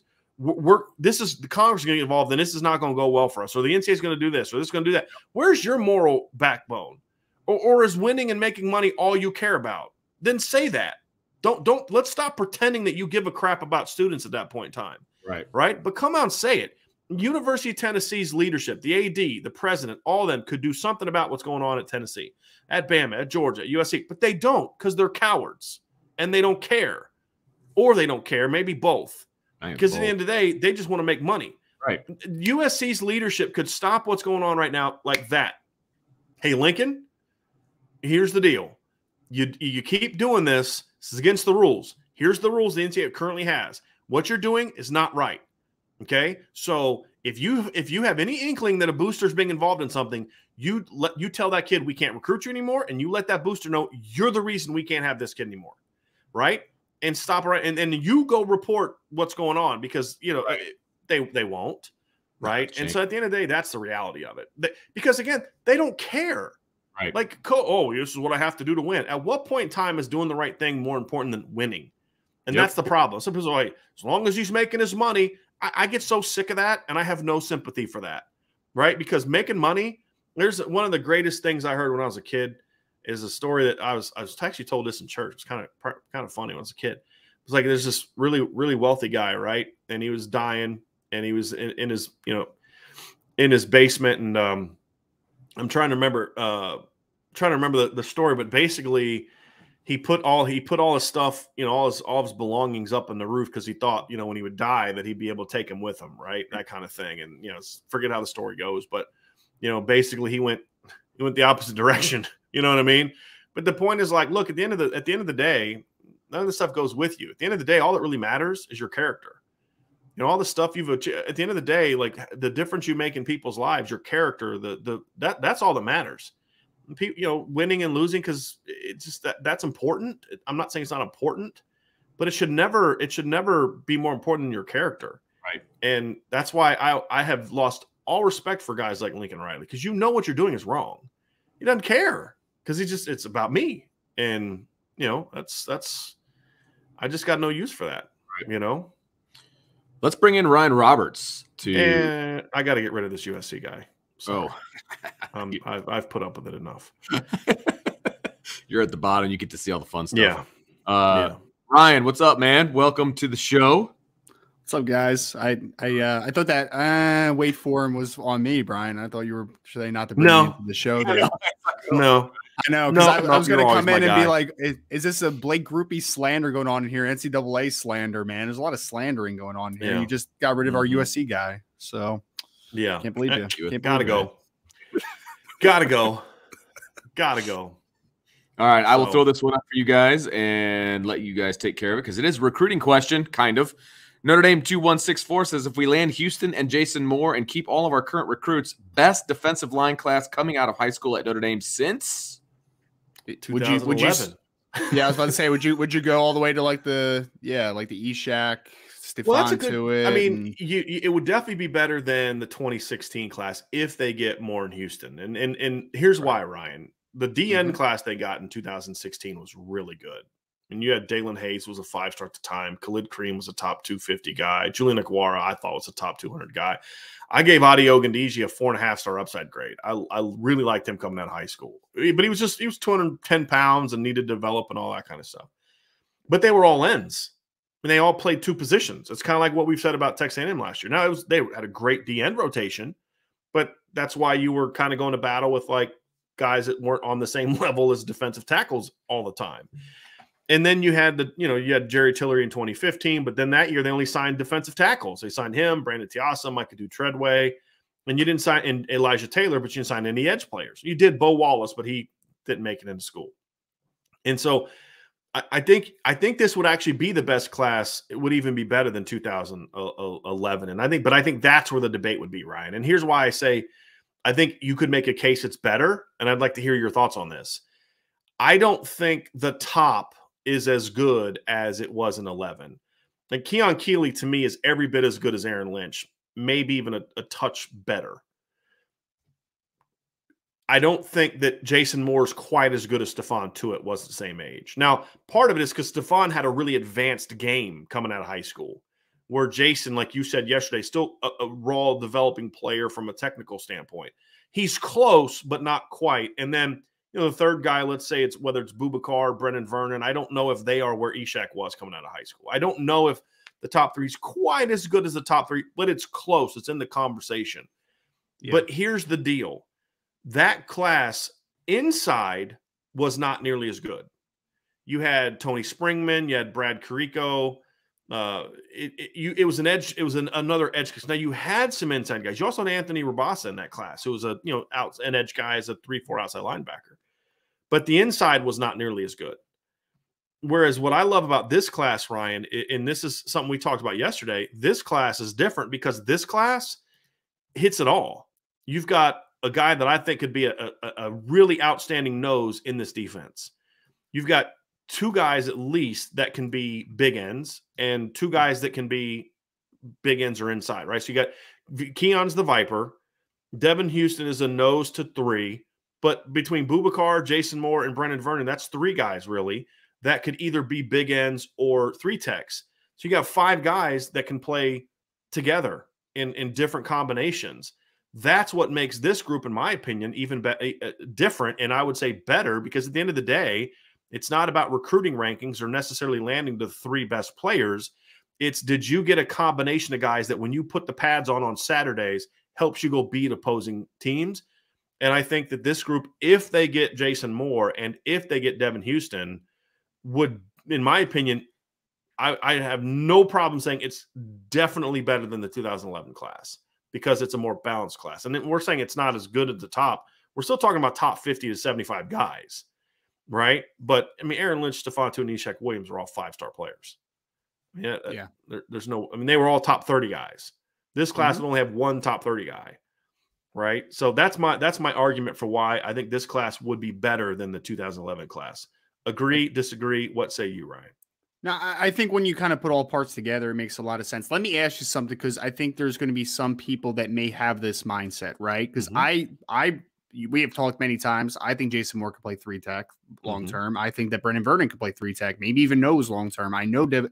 I really think that Devin Houston could also be that nose in this system that you're talking about. That could be a really incredible player. But all these players that Notre Dame is is recruiting are playing majority defensive end on the edge. Mm-hmm. I know there's probably some people out there that are saying, but how do you know that those translate to being interior players? Just curious on your like maybe your rebuttal to people that maybe question if those guys can make that transition. It'd be the same response when people say, "Well, how do you know a guy can go from tackle to guard?" And here he's saying recruits all these tackles, and how do you know who can snap the ball? Who can you look for certain attributes, right? Right. And I know you know the answer to this, and I appreciate you setting me up to answer it that way. But you look for different things. Can he play with good pad level? Right. Like you can get away with not having great pad levels an edge guy. You, you, it's not ideal, but you can get away with it. You can't have bad pad level inside. You're, you're going to get whooped all the time. I don't care how strong you are, because once those guys who are smaller and not as strong as you get up in your chest and you're stand up, you're, you're going to lose. Right. And, and so I think technique, you look at the, can this guy bend at all? Right. So if I look at Jason Moore and he's got tight hips and he stands up at the line because he's a, you know, because look, we talk about knee benders versus waist benders on the offensive line. It kind of matters on defensive linemen too. And if he's a tight kneed guy or a tight hipped guy and he's got to play high and say, well, you know, that guy can't go inside. But when I do look at Jason Moore, I don't see that. I see a kid that can bend. I see a kid that's got some flexibility, a kid that can get low, a kid can drive his hips, a kid that understands plant using his hands. Now his technique needs a lot of work, but he's got super long hands. He's got the quickness. He's got the frame. His block destruction shows. So then you got to project a little bit. Okay, can he have the size? Can he do this? Can he do that? And then when you look at a guy like same thing like Boubacar, same like Brenan Vernon, right? You got to look at their ability to play with proper pad level, their ability to get get extension with their hands, because you know as an end, a lot of times if you're not great at immediately getting into a guy and then locking out as an end, that may not hurt you a ton, Ryan, because you play at different angles. That is an end, you're playing on the side of a guy. Offensive linemen aren't trying to drive at you the same kind of way. You're coming on a pass rush, you know, you're using all that type of stuff. The contact, a lot of times, especially in the pass game, happens later in, in a snap for an edge player as an interior player, where almost everything as an interior guy is right away. It's all almost right away. And so, unless you're doing some kind of loop, right, some kind of movement, everything happens quickly. So if a guy doesn't have fast hands or strong hands or doesn't know how to use them, all those type of things, and that projection inside isn't going to be as good. So when I look at the kids that we're talking about, Brenan Vernon, Boubacar Traore, Jason Moore, they all have great length. They all know how they all they all understand the need to, to use their hands, even though the technique isn't always there. They all have very strong hands, right? So like once the technique is there, because it's a teachable skill, in my opinion. If a kid has slow hands, you, you can do things to improve that. I mean, that's why a lot of you're seeing a lot more modern defense, like NFL defensive linemen working doing boxing. Aaron Donald's made this famous, but it's a it's really smart. There are drills you can do in boxing to improve the speed of your hands. Now you're never going to be Mike Tyson from a hand speed standpoint, but you can be faster than what you are.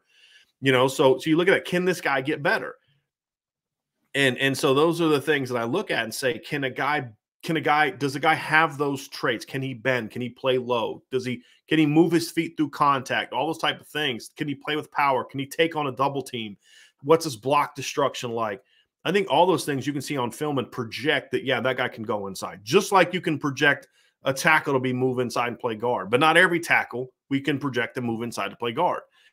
And so i think those are things you look for and i think that's a fair question and it's the opposite of what we've what the other question has primarily been, Ryan, where people are asking, like, do you have any true edge guys? So you could look at it both ways. And in both instances, I think the answer is that's partly what I love about this class because they're they're like you know there's so much flexibility and versatility to what these guys can do that you can play them together in some really unique combinations that adds even more value to what I think this group can be. Uh, what are your thoughts on that, Ryan? No, no, I, I, agree completely. This is my favorite part of. I mean, this is why I got into the NFL draft space to begin with, right? Because I love that projection, and I think that when you're talking about the high school to college level, there's even more projection that is kind of you know evident in in those in those uh, evaluations that you make of players. So I agree. I think that Devin Houston's an easy one. Like I think you could see those traits parlaying inside very well. Like I, I don't think that's a, a issue at all. Jason Moore is a guy that the reason that I value length in this class so much for Notre Dame is the fact that you have guys like Brenan Vernon, Jason Moore, Boubacar Traore that if they all land all three of those, Jason Moore obviously is not in the class at this time. you are talking about some length in that spot, and you're talking about guys that I think could project favorably to working inside. Like that's the biggest thing for me with those guys is I think they all have strong hands. I think they all have power elements to them. I think that though they all have developmental traits as mm-hmm. defense linemen because it's like Jason Moore is not going to be 6'6, 265 for the rest of his life, right? Like right. he's going to put on some weight. like he's a 17 year old kid, right? Like he's going he's going to get bigger. So and I think it's a fascinating conversation though, because I I think that you can make the argument because I remember Aaron Lynch's freshman year at Notre Dame, and I was like, wow, that kid's going to be a top five pick in a couple years. Like he is incredible. You know, he was he was the headline of that group before he left. You know, and then Stephon Tuitt right. took over. So I think though that you can compare Keon Keeley to Aaron Lynch and say who's the better prospect, and then mm-hmm. after that, the Stephon Tuitt might have the edge over a couple of their guys, but the fact that you have a potential four to five man class that can all play together, including interior and outside guys. I think that's what separates this class. So, yeah. if so, in that element, Brian, 2011, they might be best since they might be at least best since 2011. Right. Is there ever after that you, you got to go back to the 90s? I mean, right. you'd have to go. Yeah, I'm. I, I'm gonna have to look up the 1990 class. I think I actually have it on my phone. If you give me a second, I think I actually can look up is that the Bryant Young that class? because 90? Yes, that was the Bryant Young class because Jim Flanagan was also in that class. Mm-hmm. Oliver Gibson, Brian Hamilton. I mean, that's your starting lineup for the 93 team. That that that might be close. But again, I don't know what a lot of those guys were coming out of high school. I can only evaluate. I don't know if Bryant Young was considered an elite target coming out of high school. He may, sure. I don't, I don't, I don't have an answer to that. So it's definitely of the and I like to call it the modern era, which is basically like the the, the recruiting services era, which began in 2002. Mm-hmm. It, it by far by far. It would because the only one that could compete with it, in my opinion, is 2011. And, and, you know, again, looking at it from a recruiting ranking standpoint, now obviously only one of those guys panned out like a five star, and that was Stephon. But uh, looking at it from a recruiting ranking standpoint, uh, that that would be the only one that could compete. But I, like you said, the balance of it is is is really where you want to be. Corey D with a question, Ryan, and, and this is something you kind of talked about with a, a, kid from South Dakota State. If you haven't seen that video, go to Ryan's at Risen Draft, uh, R I S E N Draft, right? Correct, Ryan? Yep. Uh, and and watch the video Ryan did. He interviewed a, a kid from South Dakota State who talked about Power Five schools offering him money. You had Zay Flowers yesterday. I, I hope Zay Flowers kills it in every game next year, including Notre Dame. But I still want Notre Dame to win. I just want him to get his right? Uh, he had schools offering him 300,000, 600,000 to leave. He's not even in the portal, right? Right. And right. he chose to stay. His dad wanted him to stay. Like that's that's called being a good it's being a good parent. Like be a man of your word. There's a lot more to this than just money, this BC degree and all that kind of stuff. I loved hearing that. It's getting disgusting. Corey says since Saban sought to buy Mayer, do you think less of him? So number one, I don't I doubt that Nick Saban was the one driving that. This isn't to excuse right. Nick Saban. I'm just saying like he he he's been doing this long enough to know he doesn't have to get his hands dirty, right? He he'll, he'll let right. other people do it. But this yeah. is my issue with Nick Saban. And, and, you know, I, I appreciate the fact that Nick Saban is saying so much publicly against all this stuff. He warned that NIL. I found an article the other day that I wrote last April where I said this isn't going to be a thing where this creates parity. This is going to be where the other schools are going to turn into minor leagues for Alabama. And that's exactly what's happening. The best schools are basically picking the best players from the smaller schools. And that's exactly what's happening. At least in the like somebody asked me, a guy asked me a really good question on on uh, on DM today on Twitter. He said, "Do you think you know college football is going to turn into Major League Baseball with with salary no salary cap, which means the the the big market people?" And I said, "It's worse than that because in Major League Baseball, there's tampering rules that get enforced you can't go talk to a guy while he's still under contract with another school, right? I mean, with another team. You you get hammered for that. There's not that's not being enforced right now in, in major in, in college football. And so it's it's even worse than that. But here's my issue with Nick Saban. He's saying all the right things. Oh, this NIL is not going to be good. And, and he's not against players getting paid. It's just that there's no rules. He's against the transfer portal being the way. But then he goes and takes advantage of it. And and you know, he steals, you know, when Jahmyr Gibbs entered the portal, I called somebody who's connected with the Georgia Tech program, and I was like, you know, hey, look, what's the deal with Jahmyr Gibbs? Because I knew someone in coaching that wanted to that that was interested in him, and you know, wanted to know if I if I knew anything about you know where he was looking. And so I I made the call, and and he's like, oh yeah, he's going to Bama. I said, oh, I said, no. he said, yeah, this has been it's we've everybody's known that for a month. Like, hold on a second. He just entered the portal like yesterday. So, oh yeah, it's been a done deal for over a month. It's just like so. At what point in time do you say, well, yeah, the kid from Louisville? I, every time some so the this kid from Louisville jumps in, and oh, do you think Notre Dame should look at him? Like, guys, as I said before, these kids don't enter the portal to look for schools. They enter the portal as the last step to picking the school that has been recruiting them for a long time. Which is there are rules against that. The NCAA just doesn't enforce them. So don't come out here on your high horse talking about how these things are bad for the game and then you're the best you're the biggest beneficiary of it you what you do is you say to your boosters hey we're not taking these kids i'm putting my foot down. I have seven rings. I don't need to prove anything else. I care about the game that's done so much for me. You're the you're the primary steward of the game nick saban. So at what point in time are you going to say hey i warned people about this. You're the one taking advantage of it. Eh, it's like what i said earlier. At what point in time does you doing the right thing become more important to you? And I've heard people hammer Dabo for this. Oh, that's why Clemson's not as good because he won't take transfer. And I'm like, good, good on him. You're hating on the guy. He's actually saying this is wrong and we're not going to do it. And it's hurting Clemson. And people are hating him on him for it. I'm like, good for you, Dabo, because you're putting your money where your mouth is. I'd rather not win than win that way. And the, the sad thing is, we don't have enough people in our country that believe that because as long as you're winning, it's okay. And as long as my it's like politics, right? You you hear these things about and this is this isn't a political right side left this is just a general statement. You hear these things about how Congress has like a 21% approval rating. And yet incumbents win not so it's what it is it's like I hate politicians except my guy, right? Our senator, our representative. And that's how it is in sports too. I hate all these cheaters. Well, except for my coach because we're winning. Right? Like if USC wasn't doing what they're doing and Oregon was, USC fans would be going like all 75 of them would be going crazy right now. Right? They'd be losing their minds right now because Oregon's cheating and buying players, but because they're doing, oh, you're just hating because you're not, not winning. I'm not worried about USC. Not worried about USC. It's the game that bothers me.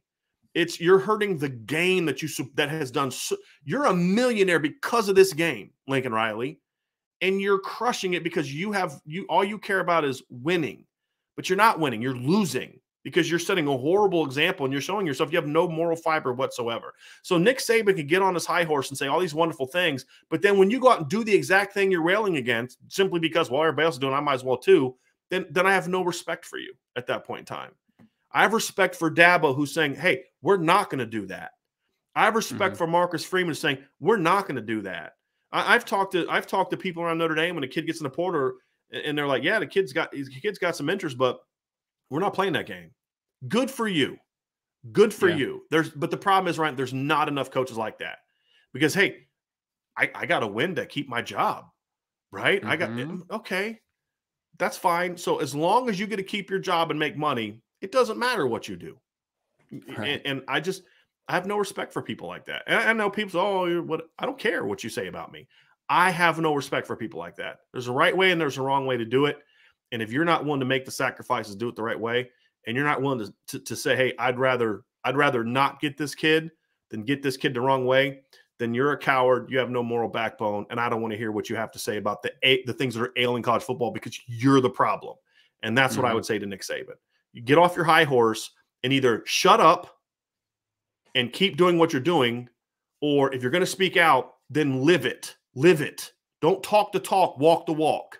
Right? Yep. That's why I got more respect for Dabo Swinney than I do Nick Saban because Dabo's walking the walk and he's talking the talk and it's hurting his program. Yeah. Now, I, I mean, so I, I, I just want to comment real quick on the whole issue here because, like you said, I, I just talked to Tucker Kraft, who was a tight end out of South Dakota State, which was, I mean, Brian, I didn't even ask him about the whole NIL thing or whatever. He literally mm-hmm. just bar he. I asked him about maybe the fact that you're maybe a little under the radar. And by the way, this kid's a really good player, all American on the FCS level. Will will be drafted next year, no doubt about it. Probably the best tight end to come out of FCS football since Dallas Goedert, who also came out of mm-hmm. South Dakota State. So I asked him, you know, just I feel like you feel like you're underappreciated because you play on the FCS level. And he said, Well, yeah, from like the general people, but you know, this offseason there were plenty of schools that were offering me six figure deals to come play for their program. And I literally yeah. said, Were you in the transfer portal? No. wasn't in the transfer portal. People mm-hmm. were just mm-hmm. coming at me. And that's where my biggest issue is right now. I think that there is, in theory, I mean, not in th- I like that the players are able to make money off their name. 100%. Like this. 100%. 100%. I, I like that they're able to transfer to another school. I have zero issue with the movement. The fact that there is nothing that is, there's no entity that's helping and regulating anything right. is my biggest issue with the movement. Because wait till some say, of these kids get their ta- get tax get get get the IRS coming after them. Right, right. I know, I know, and eh, that's the stuff that they're not being advised about. Like, there's not an, an entity that's giving them any guidance, which is the my main thing that I hate. But I will tell you this: I I, told, I, I went on the radio last night because somebody asked me about that article and they wanted to bring me on real quick, and I said this: as far as this poaching of players that isn't even in the transfer portal, that is about as wrong of a thing as I have ever seen. And like it is, it is going to get so much worse, man. Like, at right. what point is this going to change? Because right. I know they're they're taking it to a government level. The NCAA is still not doing anything. At what point is someone just going to say like, okay, there needs to be regulations here because otherwise. Yeah because you're literally taking it's an FCS program, so like not many people care about it. South Dakota State, even though it's a power on the FCS level, right? One of the better programs on that level. Mm-hmm. They're about to they could have potentially lost their All American tight end if he didn't absolutely adore that program right. to a to a top feeder. And like you said, it's not going to create parity. There's going to be bottom feeders and there's going to be right. the elites. That is 100% eh what's going to happen. And how is that right? How is it right that that can happen right now? Yeah, and, and look, like there's an argument to be to be had that some people will make that you know, it's not fair to the coaches that build these kids up to have them poach. That's not an argument that I that I'm going to have much sympathy for, because those same coaches will build these kids up and then use the success of those kids to take another job somewhere else for more money. So I, that that that argument doesn't really fly for me, right?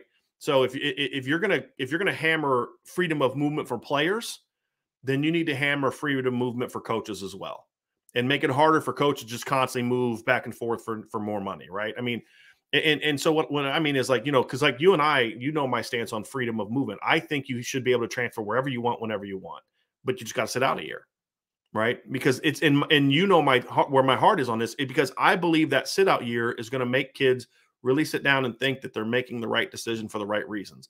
You are going to make less emotional decisions. Now, having said that, if that kid from South Dakota State jumped in the portal, I have no problem. School's getting into a bidding war for him because that's that's the rules as long as it's being done in a way that's at the heart of the name, image, and likeness, which is, hey, you come here, I got these five deals lined up for you. You got to do this commercial thing, you got to do this thing. We're going to use your face on this billboard, whatever the case may be. There's got to be some sort of transaction there. It can't just be offering money to a kid just to come play there.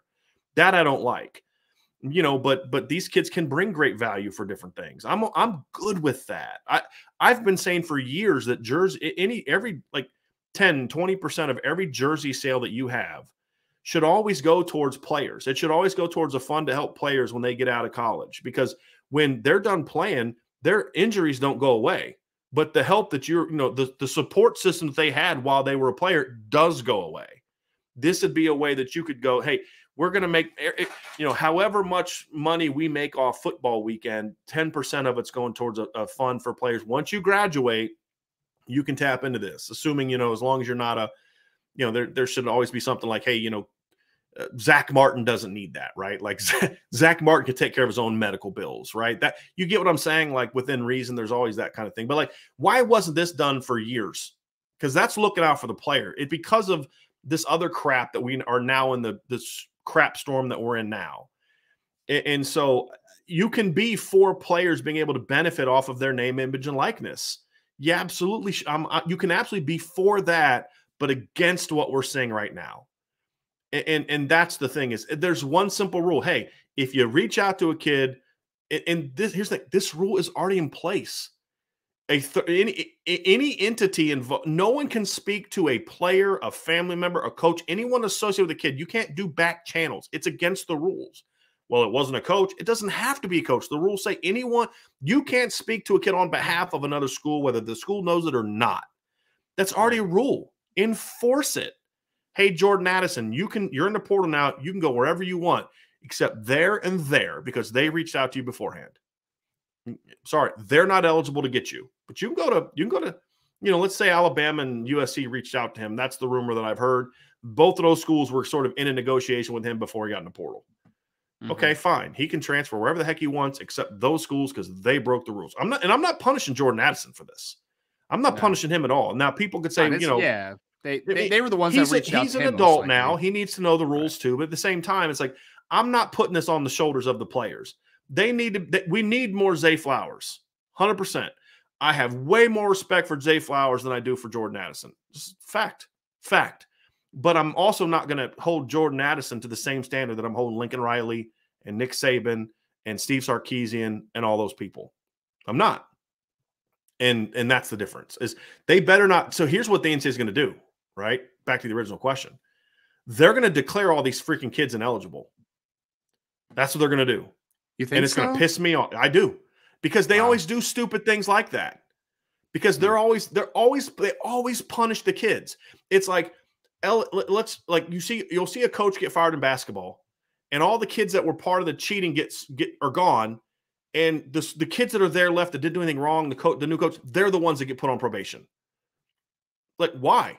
Why are you punishing people that had nothing to do with this? It's like Notre Dame in their their academic thing. They suspended all the kids that did that. They got their punishment, but then you took the wins away from the whole all the players that didn't do anything wrong. Stupidest thing I've ever heard of. And that's what the NCAA does. I, I I'd be shocked if they don't if if they like let's say they pass this rule retroactively or whatever, and they can prove that Jordan Addison did this, that, and the other. I could see them easily giving Lincoln Riley a little slap on the wrist and saying, Jordan Addison, you can't play. That's I'd say that's that's what. But it, would it shock you if they do that based on what the NCAA no. has a history of doing? No, it, it wouldn't. I, I just. It, I, I hadn't thought about that to be honest. Yeah. Like that I said you're not eligible to play there. You can tra- you can go back right. to Pitt. You can transfer somewhere else, but you can't transfer anywhere that, that we know you had contact with beforehand. Right? Oh man, and, could you imagine all the all the NIL money that's been passed out, right? And then you have to kind of figure all that headache out of the yeah. way too. Oh man. Yeah, and oh, that's oh, there's an easy fix to this hammer yeah. the coaches financially, hammer them. The yeah. first thing, there's two things you do: make the make the the financial penalties for the schools sting a little. Take scholarships away, that mm-hmm. stings, mm-hmm. and then say you can't get a port. It it's the international system in baseball is the one they should adopt for the portal. It, the easiest fix right there. If you get caught cheating this system, you mm-hmm. can't sign a kid from an international system. Like the Reds have done this. Like, and there's rules like if you spend more than a certain amount, you can't sign anyone the next year. There's like all these types of things. It's similar to that, but I would I would make it very cut and dry. If you get yeah. caught tampering in this situation, and I would lower the bar for how to prove it. Like you don't need to have it like beyond a reasonable doubt, like a court of law. This isn't a court of law. You're not being. It's not a felony charge. If there's any kind of okay, this booster talked to this kid's dad, done. Prove you're done right? Mm-hmm. There's no other reason for a guy from LA to talk to Jordan Addison's father or mother or high school coach or whatever the case may be, right? You're done. You can't you can't sign a kid. You can't get a transfer for, to into your school for 3 years. You got to make the punishment sting enough you're like it's not worth it. It's not worth it right. to do that. Right? It's real simple. Wait for the flipping kid to get in the portal. Then go after him.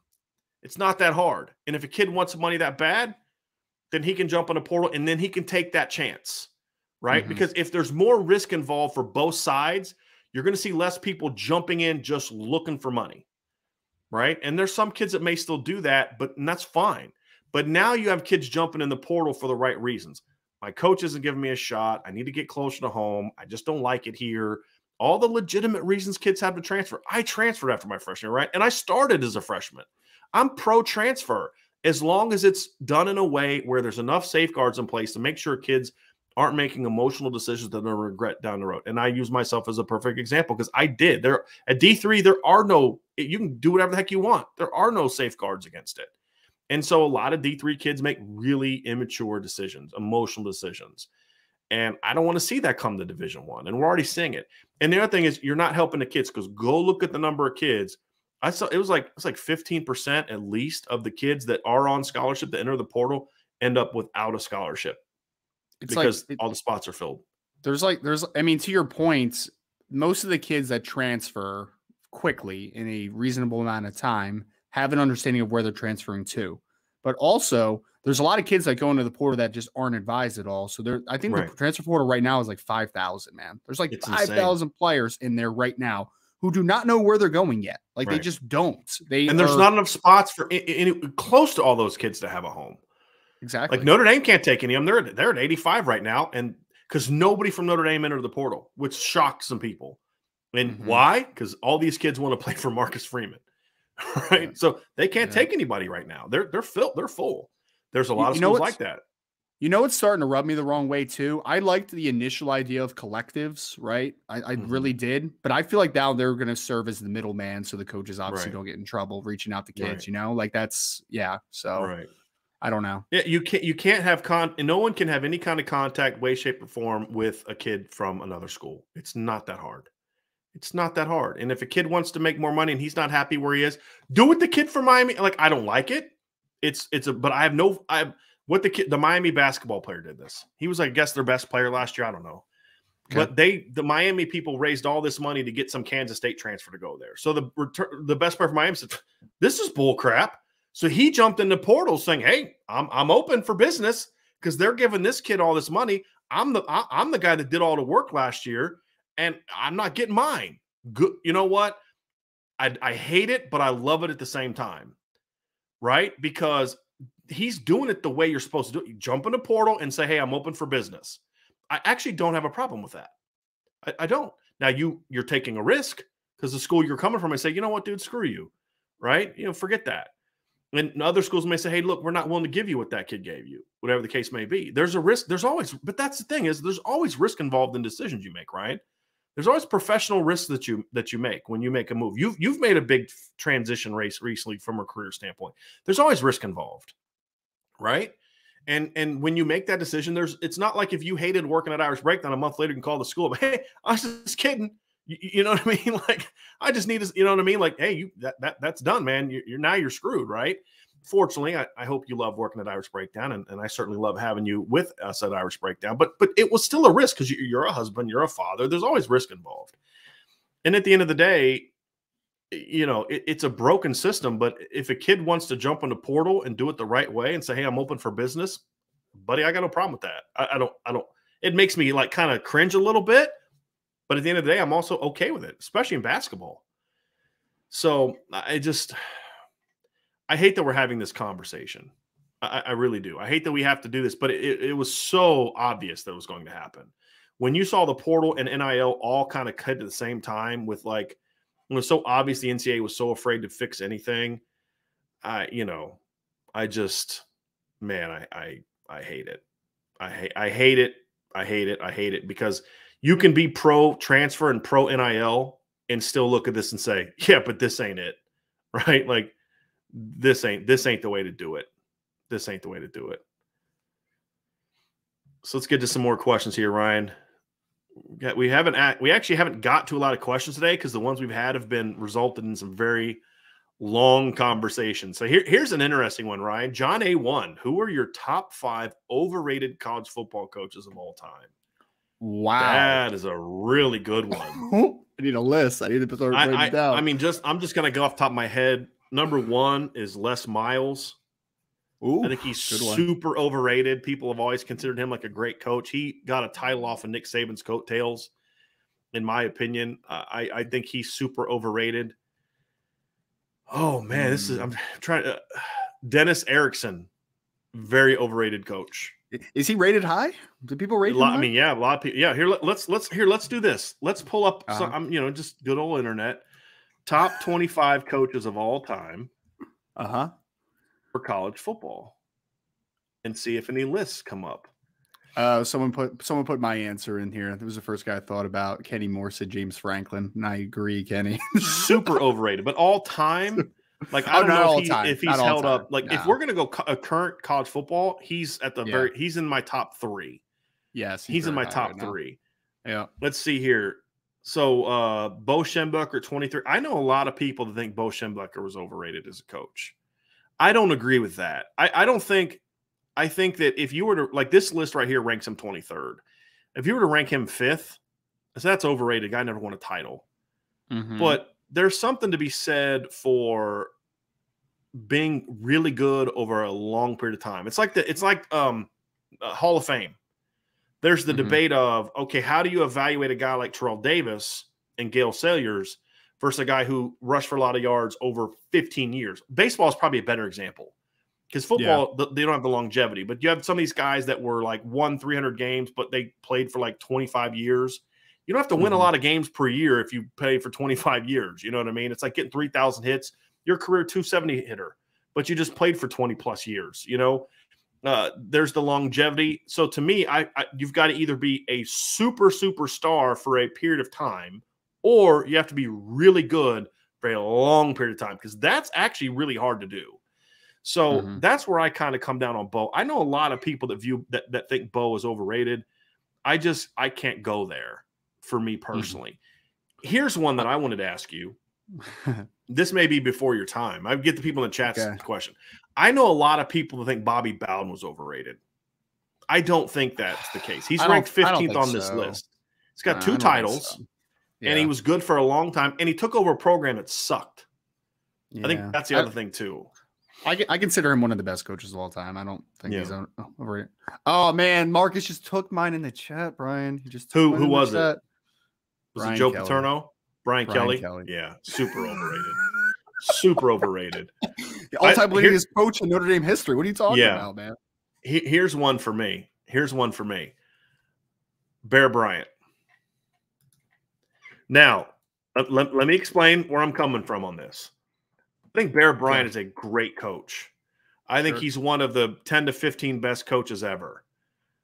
Where I, I, I kind of feel like he had, but he's been put on this like this mythical type of level that I don't necessarily buy. And I mean, look, five titles and all that kind of stuff, but some of the titles they have are like, yeah, you, you I don't know if you should claim that one. The SEC wasn't super great at some of those times, but like I just saw the list, he's ranked number two, and Nick Saban's number one, and you have Bear, Bear Bryant ahead of Knute Rockne and Frank Leahy, and it's like eh, I don't know if I can go there. I don't know if I can go there. Here's another one for me: Joe Paterno. Joe Paterno feasted on crap schedules his entire career. And so they get to these bowl games against good teams. It's like it's like the only good team you played all year.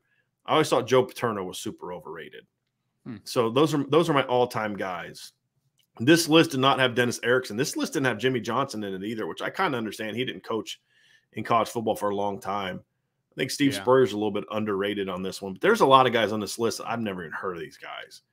And someone like they're, they're super old, like you know, Fielding Yost. I don't freaking know anything about Fielding Yost other than he was a flaming anti or anti Catholic guy. Let's see, yeah, because this one here has Bear Bryant number one, mm-hmm. and then you know it's like Knute Rock, Knute Rock. The thing that hurts Knute Rockne is just the longevity because he because he passed away. He died in the accident, so he didn't get to be as long. But what he did was insane. Tom Osborne number four. That's too high for me. That's way too high. Yeah, yeah, he didn't win a title for like 20 years or something. I mean, something insane like that. Like he coached a long time. He had some really good teams, but like top five coach of all time. Uh-uh. I can't I can't go there. I can't go there on that one. I hmm. can't go there on that one. Let's see here. He won two and a half national titles, I guess is a better way of saying it, because he split one with Michigan. I'm, I'm combing through that list that you have up to now. Yeah, um, Joe Paterno seven. I just can't go. I can't go there with that. Like, see, that's the thing. Is like I can admit that Joe Paterno is a really successful coach, but like top ten to fifteen, I just I can't I can't go there. You have Woody Hayes ahead of Frank Leahy. That's absurd. Let's see here. Barry Switzer at thirteen. That's too high. Yeah, I agree on that one. Yeah.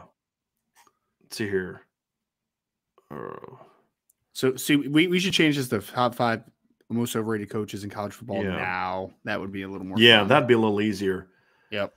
That'd be a little easier. Yeah, some some of these some of these guys like this one had this one had uh, Larry Kehres at 28th. If you're going to include D3 guys in here, how can you not have Larry Kehres higher? Like, Who's do that? you know who Larry Kehres is? Is it Mount Union? Mount he was a Mount Union. Yeah. So if you like, first of all, I don't think you should compare D3 coaches to D1 coaches because it's such a different animal. I mean, I, with all due respect, I coach that level. Larry yeah. Kehres from 1993 to 2012 won one, two, three, four, five, six, seven, eight, nine, 10, 11 national championships from 1993 to 2012. And good. he was also semi quarter. So he, he, he went to the semifinals the first time in 92, won his first title in 93, quarterfinal, semifinal, championship, championship, championship, semifinal, championship, championship, championship, semifinal, or championship loss, semifinal, championship, championship, championship loss, championship, three straight years where he lost the championship, and then another championship. His worst season from 1992 to 2012, his worst season was 12 was 10 and 2 in 94. After that, he had a couple 12 and 1 seasons. Like if you're going to include him, then you have to make him a top 5 to 10 coach. I mean, you have to, which is why he shouldn't be included. Name me another coach that has 11 national championships and, and basically like a 20, 25 year span and has one, two, three, four, five, six, five number two finishes right? So if and they had like John Gagliardi over him, the guy from St. John's who won like he was a great coach, but he again he coached forever.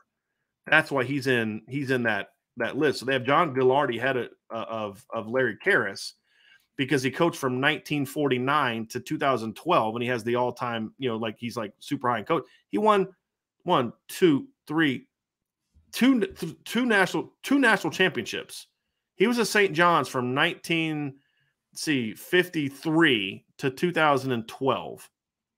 He won two NAIA championships at St. John's. And then when they joined Division 3 in the 70s, they won two national championships from the 70s to 2012. And you're going to have him ranked ahead of Larry Kehres. What was Larry Kehres' all-time record? Very curious on that. It was 332, 24, and 3. That's insane. Which is why he shouldn't be in the conversation with other Division One coaches. That's it's a different level. But if you're going to include him, he's got to be higher than 28th. Like yeah. that's a little nutty. That's a, that's very that's very nutty. yeah, a little nutty. Yeah, it's very nutty. yeah, yeah. Dabo Swinney 31st. Dabo's been good for like five years. Mm-hmm. Like I'm sorry, Dabo. Dabo's not. You got Dab. No, sorry, you have Dabo ahead of Jim Tressel. You know who I thought was a little overrated? Just a little bit, because mm-hmm. I, I, really did like Bob Stoops, but I thought he was a little overrated. Just yeah, just a, they have him. Hair. They have him 29th on this list. Here's yeah. who they have him ahead of. They had him have him ahead of John Robinson.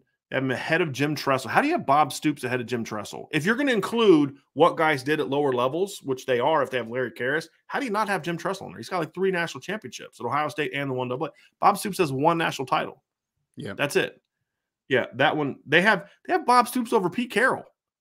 Didn't didn't USC beat Oklahoma by like 50 in a title game one year? With Jason White, right? They smacked yeah, him, didn't they? Destroyed yeah. him. Yep. That one doesn't. You have Bob Stoops ahead of Darrell Royal. I'm not sure if hmm. I can go with you there. I'm definitely not sure. Yeah, they in this list. When did this list come out? This list came out in 2019 they had Frank Beamer ahead of Urban Meyer. Now, Frank Beamer's ahead of Urban Meyer in the, the human decency list for sure.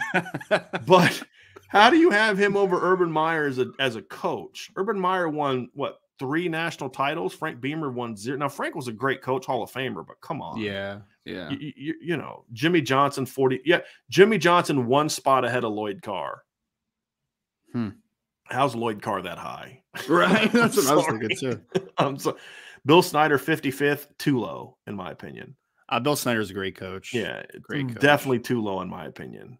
Yeah. He should be higher on that list. This is an interesting list. I'm going to have to study this one of these days. This is very, very interesting. Who is who is the coach that was at Nevada for a long time and like Chris quietly, Chris Ault. Chris Ault. He was a really yeah. good coach for a long time. Just didn't get any credit at all. And he revolutionized certain things, and I respect that. The, the pistol, right? He, he right. was a big pistol guy. Right. Yep. He kind of made that a thing. Yeah, you have Brian Kelly 89th ahead of Barry Alvarez. Okay. Ahead, of Brian Alvarez. Kelly ahead of Hayden Fry. Wait, where did they have Barry Alvarez? they had list? Brian Kelly ahead of Howard Schnellenberger, who you know won titles. You know, come on, give me a break. This Sounds like ridiculous. they had Alvarez pretty low too. I like. That. They had John Cooper ahead of Chris Ault. Hey, Chris Ault um, 99th. Chris Hall was a really good coach. Yes, he He's was. Really good coach. Hilarious. Anyway, let's get back on track. That's some good stuff. We should we should do we should do a show on that. I'm actually going to write that down. Best coaches and we're going to do a show this summer on the best who we we're going to rank our 10 to 15 best coaches in college football. We're going to rank them. And then we're also going to do most overrated coaches. I, I want to pull this comment up real quick because Yeah. from Ben G. 1801 says, Oh, "Is God. this big game boomers list?" Have you seen that? they come out with the worst lists. Oh, it's like the, the- at I've first heard- I thought they tried. Now I feel like they do things just to create. Like that's what happens in the social media world, Ryan. Is Mhm. people do things and then they start getting attention and then they start doing things for attention. Right. And some of the lists they've come up with recently are just some of the just the dumbest things you could Mm. It's possibly it's it's, see. cl- it's clickbait, man. But it's not even Yeah. monetized clickbait. It's just Right. clickbait. Well, So, so, sometimes people, uh, the, it's the attention that feeds them. It's the likes. There, there, like there are people literally like they just they do nothing but focus on did I get likes? Look, well, how many likes I got? How many followers I have? They're obsessed with it. It's that's silly. weird. That's silly. It's I mean, I I, I, very. I appreciate the followers, but like you know, Yeah. I'm I'm I'm trying to make a living. Sure. You know, sure, exactly. Oh boy, good question, John. Blaine Tiller, which quarterback will fare best against Notre Dame? C.J. Stroud, C. Caleb Williams, Caleb uh, Williams. Phil Jurkovec, Caleb Williams, Phil Jurkovec, and DJ Uiagalelei. I think I said that somewhat right. Considering the offenses they will have around them, and the Notre Dame defense this year under Golden. I'm going to say something else. There's a couple quarterbacks that, that Notre Dame fans need to know that they're not Mm-hmm. talking about on this list. And there's a guy, Ryan, I want to get your opinion on as we and Yep. I'll answer the question. Have you seen Grant Wells? You transferred from Virginia Marshall. Tech. Transferred to Virginia Yeah. Tech though. Did he Yeah. transfer to Virginia Tech? Freaking Yeah. sucks. He's a, he's in a quarterback battle with Jason Brown, who started a couple games for South Carolina That last year. so they're freaking there. sucks. I Yep. hate that crap. He is a pretty talented player though, so I'm glad you asked about him. It helps. Notre Dame, but I Yes, it hate that. I freaking hate that. I'm so sick of this crap. Anyway, um, there's some good quarterbacks on the list this year, and nobody say he didn't say Tanner McKee. Hey, I've been reading on mock drafts that Tanner McKee's going to be a top 10 NFL draft pick next year, Blaine. So I don't know why you're sleeping on Tanner McKee here, buddy.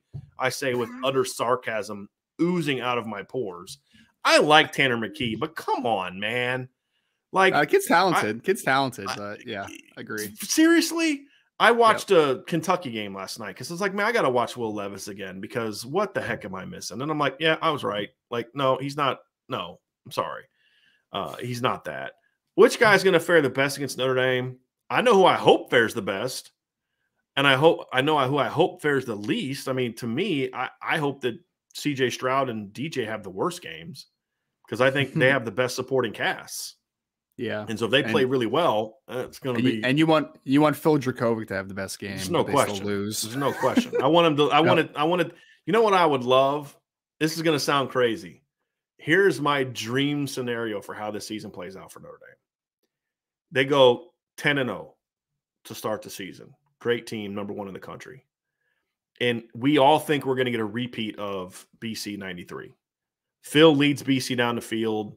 They kick a field goal with a minute left, and we're thinking, oh, here we go. Phil's going to pay back. Phil has a big game. Zay Flowers has a big game. It's payback. Notre Dame was overlooking BC, thinking USC, all this other kind of stuff. And eh, here we go again. But then Tyler Buchner comes in, leads them back on a game winning drive to win the game. That to me would be a great scenario because I, I have a great deal of respect for Phil, his family. I- I'm hugely rooting for Zay Flowers now after what happened. I would love to see Phil have a big game there, but I still want to see Notre Dame win. And I feel like that would also give Notre Dame fans that redemption. It's like it would slay that 93 dragon of the BC game, you know, uh, where you give it back to them. And then, of Mhm. course, the next week you go out and curb stomp USC to go 12 and 0 and you're the number one seed in the college football playoff. That that that would be that would be a dream scenario for me. So, how, what what are- what are your thoughts on this one, Ryan? I, I mean, I think I feel the same. I was gonna say, like, I, I obviously like Phil Jurkovec as you know, just a young man and a player as well. I mean, he should be a guy that I think is talked about a little more in those early NFL mock drafts, to be honest. But yeah, I, I Mhm. like Phil, and he's on the worst team that was listed there. Most well, USC Mhm. or Boston College. Let's have a debate there someday. But least talented of the player of the teams listed there. So I don't think that hurts you tremendously if he has a great game. I mean, you obviously have to play well, but I'd say the guys that worry me the most are with the team involved would be Stroud, DJ, then Caleb, then Phil. Not that not that DJ's better than Caleb because he's not. It's more- just like, you- the you- team around him. Caleb could lead USC to 38 points and Notre Dame still wins by 10. Exactly. Like with Clemson's defense, DJ doesn't have to lead them to 40 points to win. You know, I mean, because this defense is going to be better again, unless they have three of their best players out like they did in 2020, right? Mm-hmm. Which, you know, but yeah, I, I to your point, I think DJ playing better, he's going to have a better system. I mean, Caleb could put up big numbers and they could still lose. He did that several times in the Big 12 last year. And they're going to, you know, Notre Dame's obviously a better team than that. Here's here's a good question, Ryan from John A. One is modern football left the middle linebacker position undervalued. Seems like more emphasis is going to hybrid outside linebackers to pri- as to prime to as to primarily second level players. I need I think we need to specify this, Ryan. I think we need to specify college and NFL yeah. because I, I think the games are different enough to where I I don't think it's undervalued in the NFL. I do think Yeah. it's undervalued in college football. I I think the for the NFL, I think the just the prototype of what a middle linebacker looks like is changing a little bit, but I don't think it's less valuable at all. I mean, it's because especially when you're running, because you're gonna be running a lot more lighter boxes now, right? Because every Mhm. team's in sub package now, so you might only have two linebackers on the field the majority of the time. So having a guy that can handle the run, I think that's where people really miss on it. I, I I historically do very well at linebacker evaluations. I really do because I think a lot of people undervalue they just love these great athletes on the second level, which I'm like, yeah, I I, I value great athletes on the second level as well, but I also value eyes, discipline mm-hmm. as a run filler, being able to stop the run because they are a run first player still, even in the modern game, they're still a run first player. So that's why I think people missed on a Nick Bolton last year. He came out of Missouri because he was a little shorter and he wasn't the greatest athlete, but it's like, but guys, are, are you watching the film? Nobody can But look who they hyped up. They hyped up the kid from Kentucky who had production, but like just we saw it this year too. it. yeah, We saw it this year it. too. Quay Walker's the first linebacker off the board. Leo Chenal doesn't go to pick 100. Leo Chenal is going to be a better football player in the NFL, I believe, than Quay Yeah. Walker, just flat out. So, Yep. Good question there. I think that in college football, teams are not putting enough value on middle linebackers like Junior Tuihalamaka. And the reason I say that is, is it's kind of like what you said, Ryan, but I think it's being undervalued in, in college football because there's this notion of, well, you know, you got to get speed on the field. And I understand all that, but a middle linebacker still needs to be a run defender. And the the the more that teams are going to this speed, you're going to see more and more teams start running at you more and more and more and more and more. Because if you're going to try to put a 220 pound, and we saw this with Notre Dame, you try to put a 220 pound linebacker that can run but not a real strong kid, you're you're you're going to some of those teams are just going to be able to run on you up the middle, and that's just the reality. I think being able to to be able to have a thumper at middle linebacker like a junior Tuihalamaka, and I've talked about this in the past, Ryan, before I hired you. We talked about this during recruiting last year.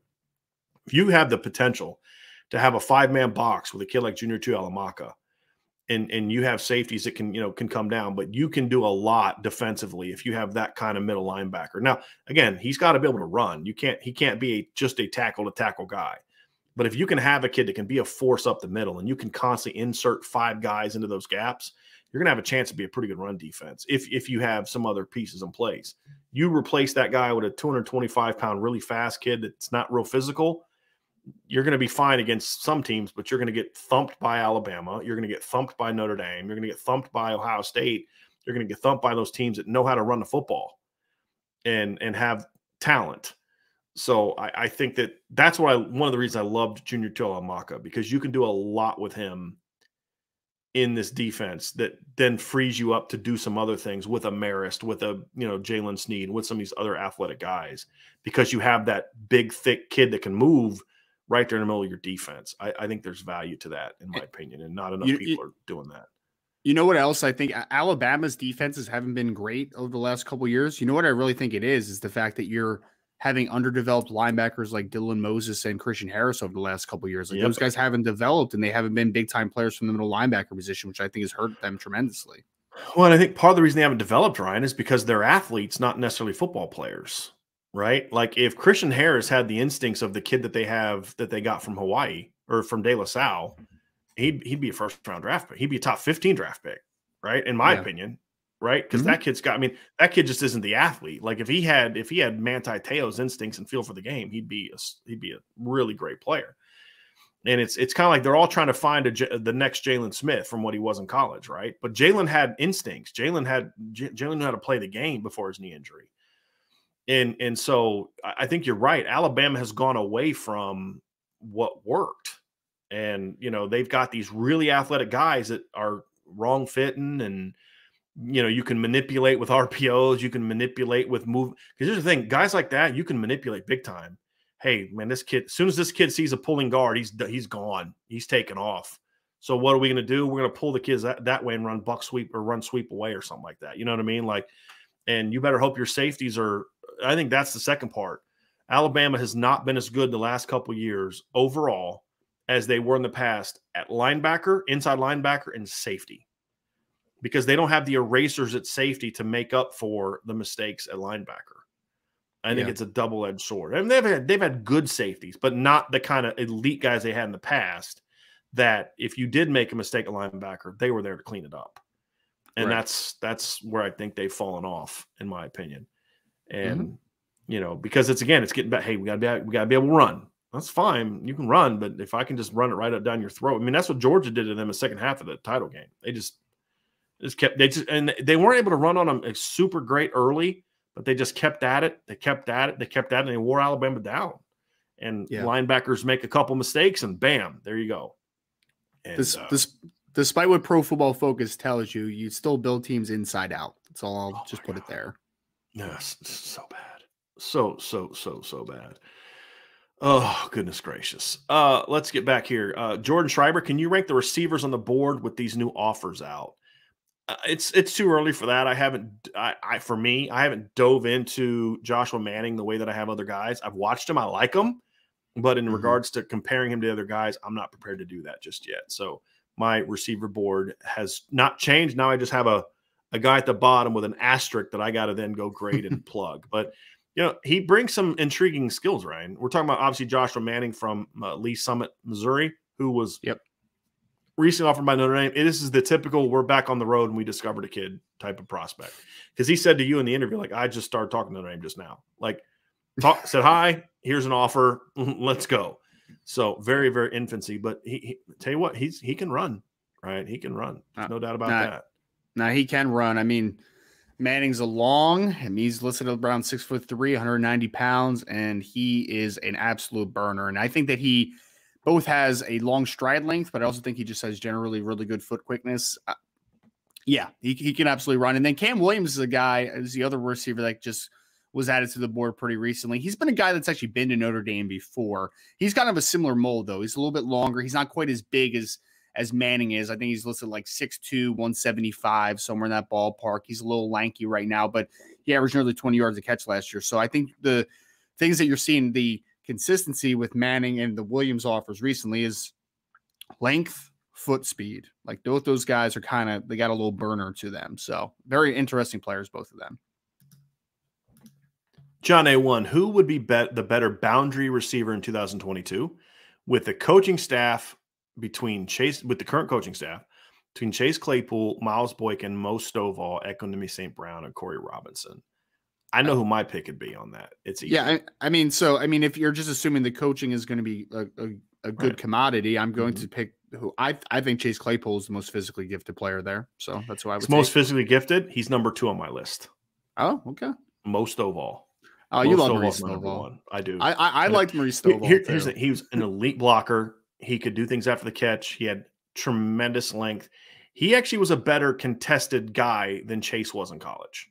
He was a oh, better sure. winning contested throws, and I think that's that is one of the top three needs for a guy in, at boundary. I actually really like Chase as a field guy because I think he mm. can do things after the catch. I think he can, you know, he's he's a guy that can do different things. He can work in space.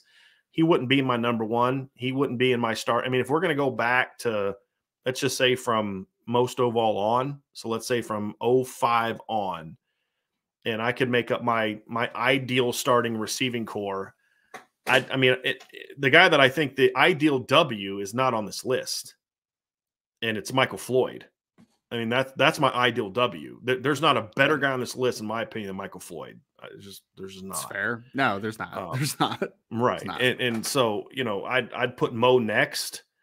but the thing about Chase is you don't have like my, with those out, you there's Corey Robinson can't play anywhere else in my opinion, or at least not as well. EQ maybe could play some X. I think he could play some X. Chase could play Z or X. He I mean he could play all over.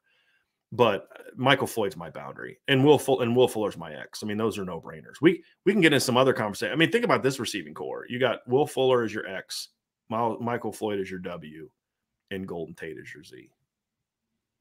Have fun trying to stop that with Michael oh, Mayer. Yeah.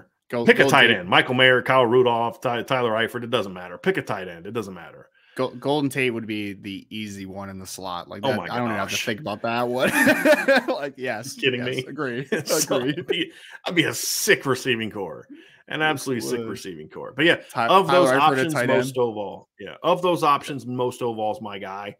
If I can include everybody else from that era, there's no doubt that Michael Floyd is my guy. I mean, it's not even a debate for me.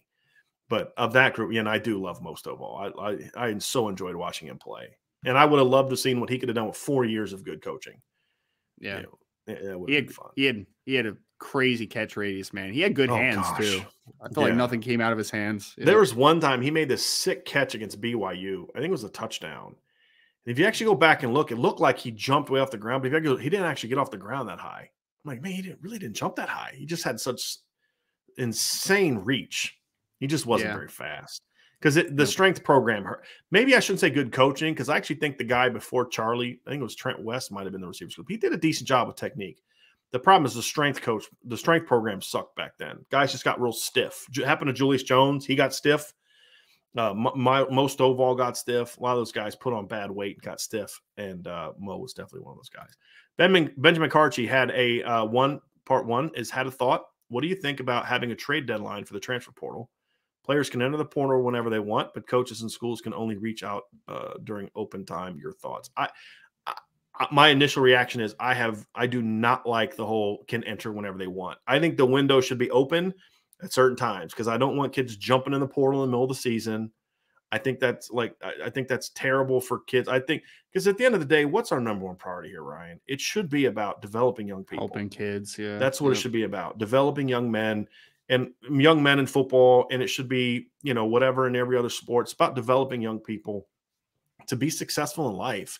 And what are we teaching them? Anytime your boss treats you bad, you can just jump in a portal and be emotional. That's why I like the sit out rule. You, you don't have as much of that. You're forcing kids, hey, go deal with your problems. There's too much of that in our society where it's just like, ah, you know, like, ah, just quit. Oh, you can't, you, you're eventually going to run out of jobs to quit. Okay. You're, I'm sorry. And I think this is a terrible precedent. And I just I don't I don't like the idea of the portal being open at any time. I think it should open I think it should open up a week after the conference championship games, maybe just the regular season. But I, I would open it after the conference championship games and give kids that window between the end of the regular season or the championship games and then the start of the fall semester. Give them a window during that period of time. And then the portal shut. Then it opens again on May 1st or you know, you know, at the end of the school year, and then it's open. You know, you, kids have the summer to figure out where they want to go. It should be open during that period of time only, because again, you need to be smart about it. But I don't want kids jumping in a portal in middle of October because you're pissed that your coach wasn't nice to you. You can't mm-hmm. go anywhere anyway. So what do you need to be in there for? Focus on school, get your classes right, keep pushing. You can learn through that adversity. You, you can become a better man through that adversity of, of having to go to work every day with a coach you don't like. As long as the coach isn't like physically abusing you or putting you in a situation where he's trying to get you hurt, then you just walk, quit, right? And then go go talk to somebody and get that guy freaking fired. Right. But kids don't need to be jumping into portal in the middle of the season. We, we need to get away from that nonsense. Open it up at the end of the season and then open it up again at the end of spring.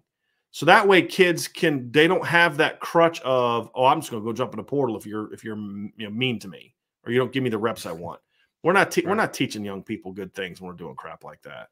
So I understand where you're worst. coming from, Benjamin, but I just don't I don't like that idea for me. Did you, you did you see? You? Did you see before the FCS playoffs last year, the quarterback from um, uh, Montana State, who was the starter all year, entered the portal like right before the playoffs?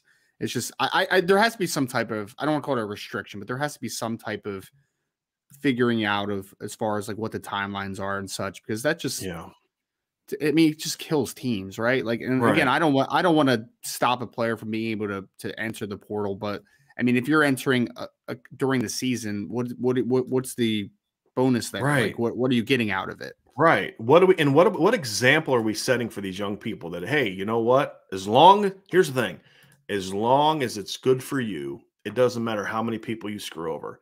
That's a horrible life lesson, but that's exactly what the portal has become, Ryan. It doesn't matter what you're doing to other kids. People say, well, it's good for players." Well, it's good for that player. What about the kid who just worked his butt off for the last three years trying to earn that spot, and now they were able to go out and buy a player from the portal, right? What about the kids who were depending on that guy to be there for the the next game, kind of thing? Like off seasons is different. I've said this. Once the off season comes, it's it's you time. It's focused on you time, right? It's whether it's NFL draft, whether it's the portal.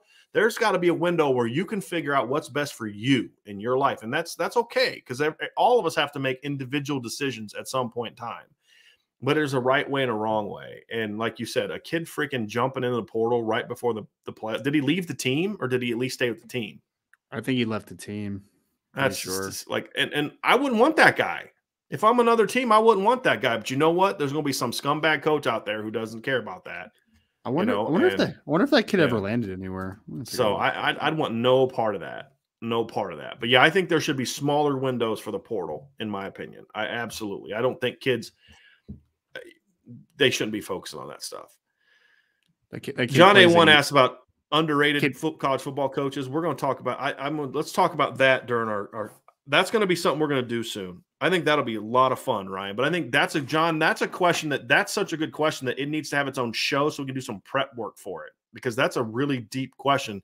Because I'm going to name some guys that I'll probably regret saying later, or I'll forget about some guys. So that's a great. Those are great questions, John, and we're going to use those as uh, topic starters for future shows. So uh, when we do those shows, we will lie and say that was our idea and we came up with it because we're wicked smart and we'll give you no credit, John.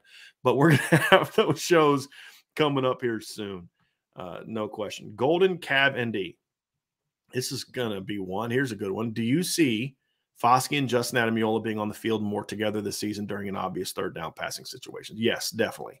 They were actually on the field a lot together last year on third down, like almost always on third down last year. We're going to see them a ton. I think – what we're going to see less of this year is last year it seemed like there was a lot of snaps, Ryan, where one of them was dropping and one of them was rushing. I think we're going to see more of them both rushing this year. I think we're going to see more four man pressures this year than we saw last year in those third down situations. Yeah, I think I think it's a, lo- a little bit of a disservice if you don't get them on the field on the obvious mm-hmm. passing situations, right? Like that's to your most well, your your most a, a talented pass rusher and then your most refined pass rusher. You need to get both those guys on the field. Mm-hmm. John A1 asks, How would Brady Quinn fare in today's Notre Dame offense? I, I, think he'd be pretty good. I don't know if he would be. Uh, this is going to sound weird because he's my favorite quarterback. But him and Tony Rice are my two favorite quarterbacks, but I don't know if he would fare quite as well in this offense. And here's why I say that Brady had a bit of a long release and he wasn't like super super great at getting the ball out real fast. He could, you know, but not real fast. And Brady wasn't the most accurate guy. Like his his accuracy gets gets criticized too much in some circles, in my opinion. Like they make it seem like he was, you know, like just couldn't hit the broadside of barn, which is insane. He completed over 60% of his passes two years in a row, and completing 60% of your passes was not an easy thing to do but I, I don't I don't know if he would have been quite as good now as he was then. But then my counter to that is, but there'd be a lot more easier throws that he'd be able to make. So that'd be a counter to it. Uh, so I, you know, John, my initial gut reaction is I think he was playing in the perfect offense for him under Charlie. I do. Yeah. I, you know, I, I don't know if this offense would be as great for him, but you know, that's I could be wrong. What, what's your what's your thoughts on that, Ryan? Well, no, I mean he was a. so when you say that, you you mean that like the a, more of a vertical based system, push yeah. the ball down. And I'm talking statistically. I'm talking right. statistically. Like he threw right. for 3,900 yards and 39 touchdowns one year, or, or, 37 touchdowns one year. I mean, it was it was he, he put up monster numbers. Yeah. I I don't you know. Yeah, that's more I'm referring to. And yeah, I think he was a guy that was back shoulder fade. I mean, think about how many Brady Quinn, I would be curious to kind of go through the 05 season and say how many of his throws were either look screens or back shoulder throws, like fades. It's a lot. Yeah. That was a lot. lot. And that's just not something they do a lot in this offense. Now, maybe that's because they don't have Mo Stovall and Jeff Samardzija. But even when they had Boykin and Claypool, they didn't do that stuff a ton. They should have done it more, in my opinion. They didn't oh, do yeah. that stuff a ton. I would I would have thrown look screens out, out to Claypool mm-hmm. all day, man, until and they stop shoulders all day. Yeah, exactly. And they did that against Stanford and Stanford in in 18, and Stanford couldn't stop it. I mean, they just had no answers for Miles Boykin in that game. John A1 asks, Do you think Notre Dame could be effect an effective 22 personnel package and go tempo? I'll let you take that one there, Ryan. So 20, 22. two backs, two tight ends. Yeah, yeah. Um I mean, sure, but I, I mean I don't think it's the best option to go, John, if you're if you're really trying to harp tempo. Like it just because you're condensing everything a little bit too much for my liking, right? Like I think that you can be creative with the running back usage in, in a two back set, obviously, but I, I just I, I off the top of my head, like I just not a big fan of that thought process personally. I think it's something they could do as a change up, like in a game, you know, just kind of come out and you know go two tights and you put Mayer out wide and put your other receiver out wide and put Chris Tyree or Jadarian Price in the slot as just something to could keep you know maybe you run a couple jet sweeps off of that just to try to catch them. You know, I think I I always look for stuff like that, John, in in a in a wrinkle that we're hoping that they don't catch on to it and on the third we're setting the first two plays are setting up for the shot we're going to take on the third play. I think it'd be something like that, but as like a as a staple, as in like a a this is a personnel grouping we use on a week to week basis. I think it has some limitations. Once teams get some film on it, it would have some limitations, in my opinion. And and so, uh, wrinkle, yes. Overall, no. Here's an interesting question that I'm not sure I'm going to feel super comfortable answering. John A1 asks, would you rather have Phil Jurkovec or Tyler Buchner going in 2022? I mean, from a so it's it's not in a vacuum, right? Because Phil right. Who they are now yeah, is a fifth year senior, and Tyler Buchner is going to be a sophomore. So I guess in that in this world that John is making for us, I guess I would go with Phil Jurkovec just because he's played a lot of football at this point, right? Like he's kind of been there mm-hmm. and done that to a high degree. So I, I guess I would defer to that, but I'm comfortable with Tyler. Like I'm just comfortable with having Tyler, but I guess I would go with Phil just just for the experience factor. Honestly, I don't think there's not a gap. There's not really a gap in talent. They're different players, but they're both mm-hmm. extremely talented in their own mold. So I don't think right. if there's a talent discrepancy that might push it towards Tyler, but the fact that Phil is also very talented and has experience, that would be right. where I would probably go there. I had Tyler Height ranked higher as a junior. Phil was ranked higher after senior year. Phil was phenomenal as senior, and Tyler didn't get to play as a senior. If this was a scenario in which Phil never left, it'd be Phil easily. If it's a scenario where Phil comes back for his fifth year at Notre Dame, no. And that's coming from someone who loves Phil Jurkovec. But look, he left. I love Phil. I wish he wouldn't have left. I think he's going to be a great player for BC this year. And and that's a great I mean, I this is not a shot at Phil. It's just that but he left. Were the circumstances unfortunate? Were they his fault? No. And I and I got Phil was not to blame for him leaving. But again, he left and Tyler's here. And that's how I always feel like give me the kid that's at Notre Dame. And and I always would you trade this Notre Dame player for that guy? No, because that Notre Dame player wanted to be here. That guy didn't. Right. But if Phil never left, and you were going to ask me who I'd want to start a cornerback, it's Phil. It's no brainer. He's a fifth year senior who's incredibly talented. Tyler Buchner's a redshirt, for a sophomore who's incredibly talented right? So give me the fifth year incredibly talented guy over the sophomore incredibly talented guy. That would be my answer. But honestly, if Phil never would have left, and they will, I'll say this. I put this on the message board the other day. I think this is a question I asked. Imagine if they would have done what they should have done in 19, and after the Virginia Tech game, benched Ian Book and put Phil Jurkovec in the game. And he starts the last five games of 19. He starts 20 and he starts 21. The reality is, is barring injury, Phil's not even here, and it doesn't matter. That's my stance. So, um, it would have been Tyler. You would have had both. You'd had Phil would have groomed Tyler, and I think they would have got along. Per, I think that would have. I think that would have worked out really well. So John's asking some tough ones today. I feel like I get like the sense sometimes like John gets like takes the day off before the mailbag and like comes up with these like really good questions, and he's just like ready for us when we show up. Uh, so I, I appreciate that. Here's a draft question from Jason Burkhart. Draft question: How surprised were you that Sam Howell went as late as he did? And could he have done anything to help himself, like transferring to another school for his final year? It's a good one.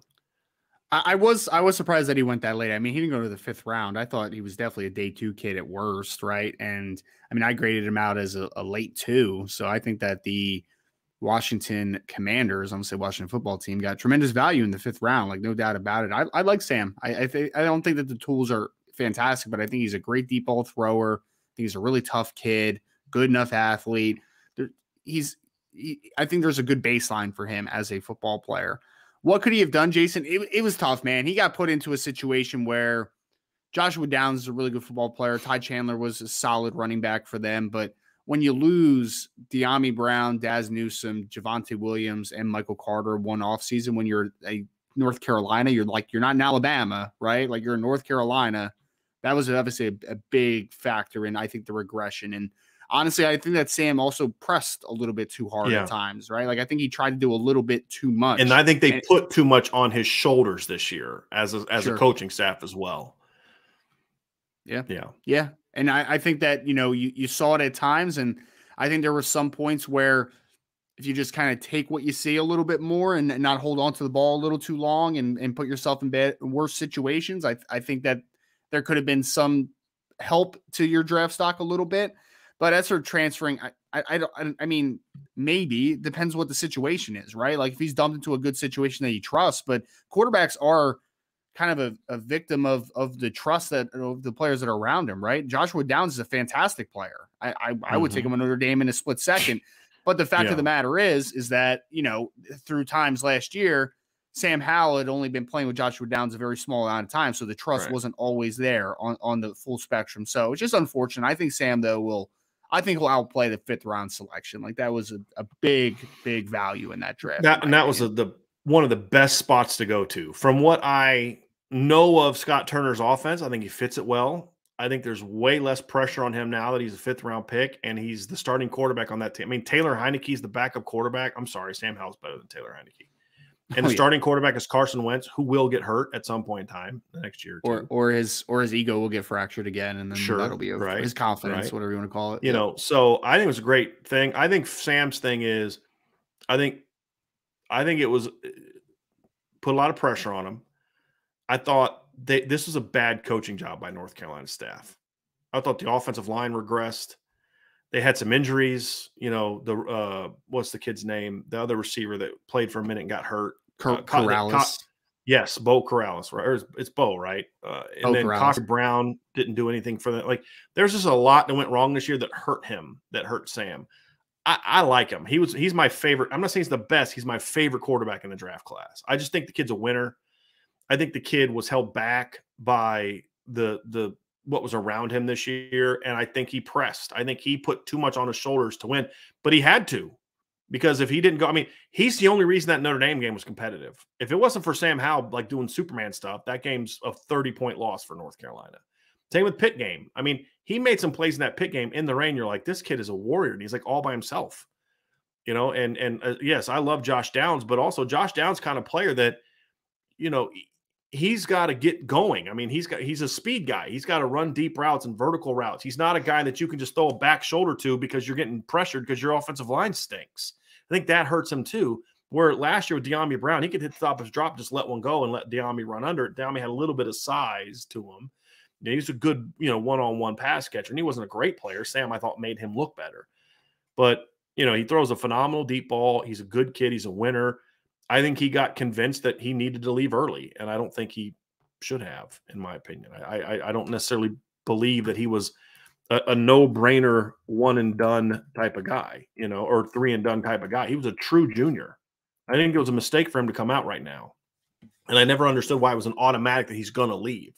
He's a true junior. He needed, he could have used more time, especially after the year he had.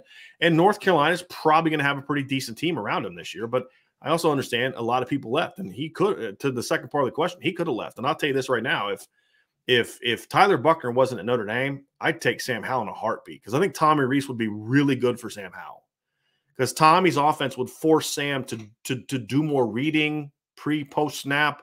He'd be working in a more NFL style system compared to an air, air raid. raid. I thought it'd be great for him. So if if Tyler Buchner, let's say Tyler got hurt at the end of the season and he was going to be out for the year, and and Sam Howell wanted to come to Notre Dame, oh absolutely, I'd sign me up, right? And, and I think it would have been good for Sam too. But I, I don't know if I nest.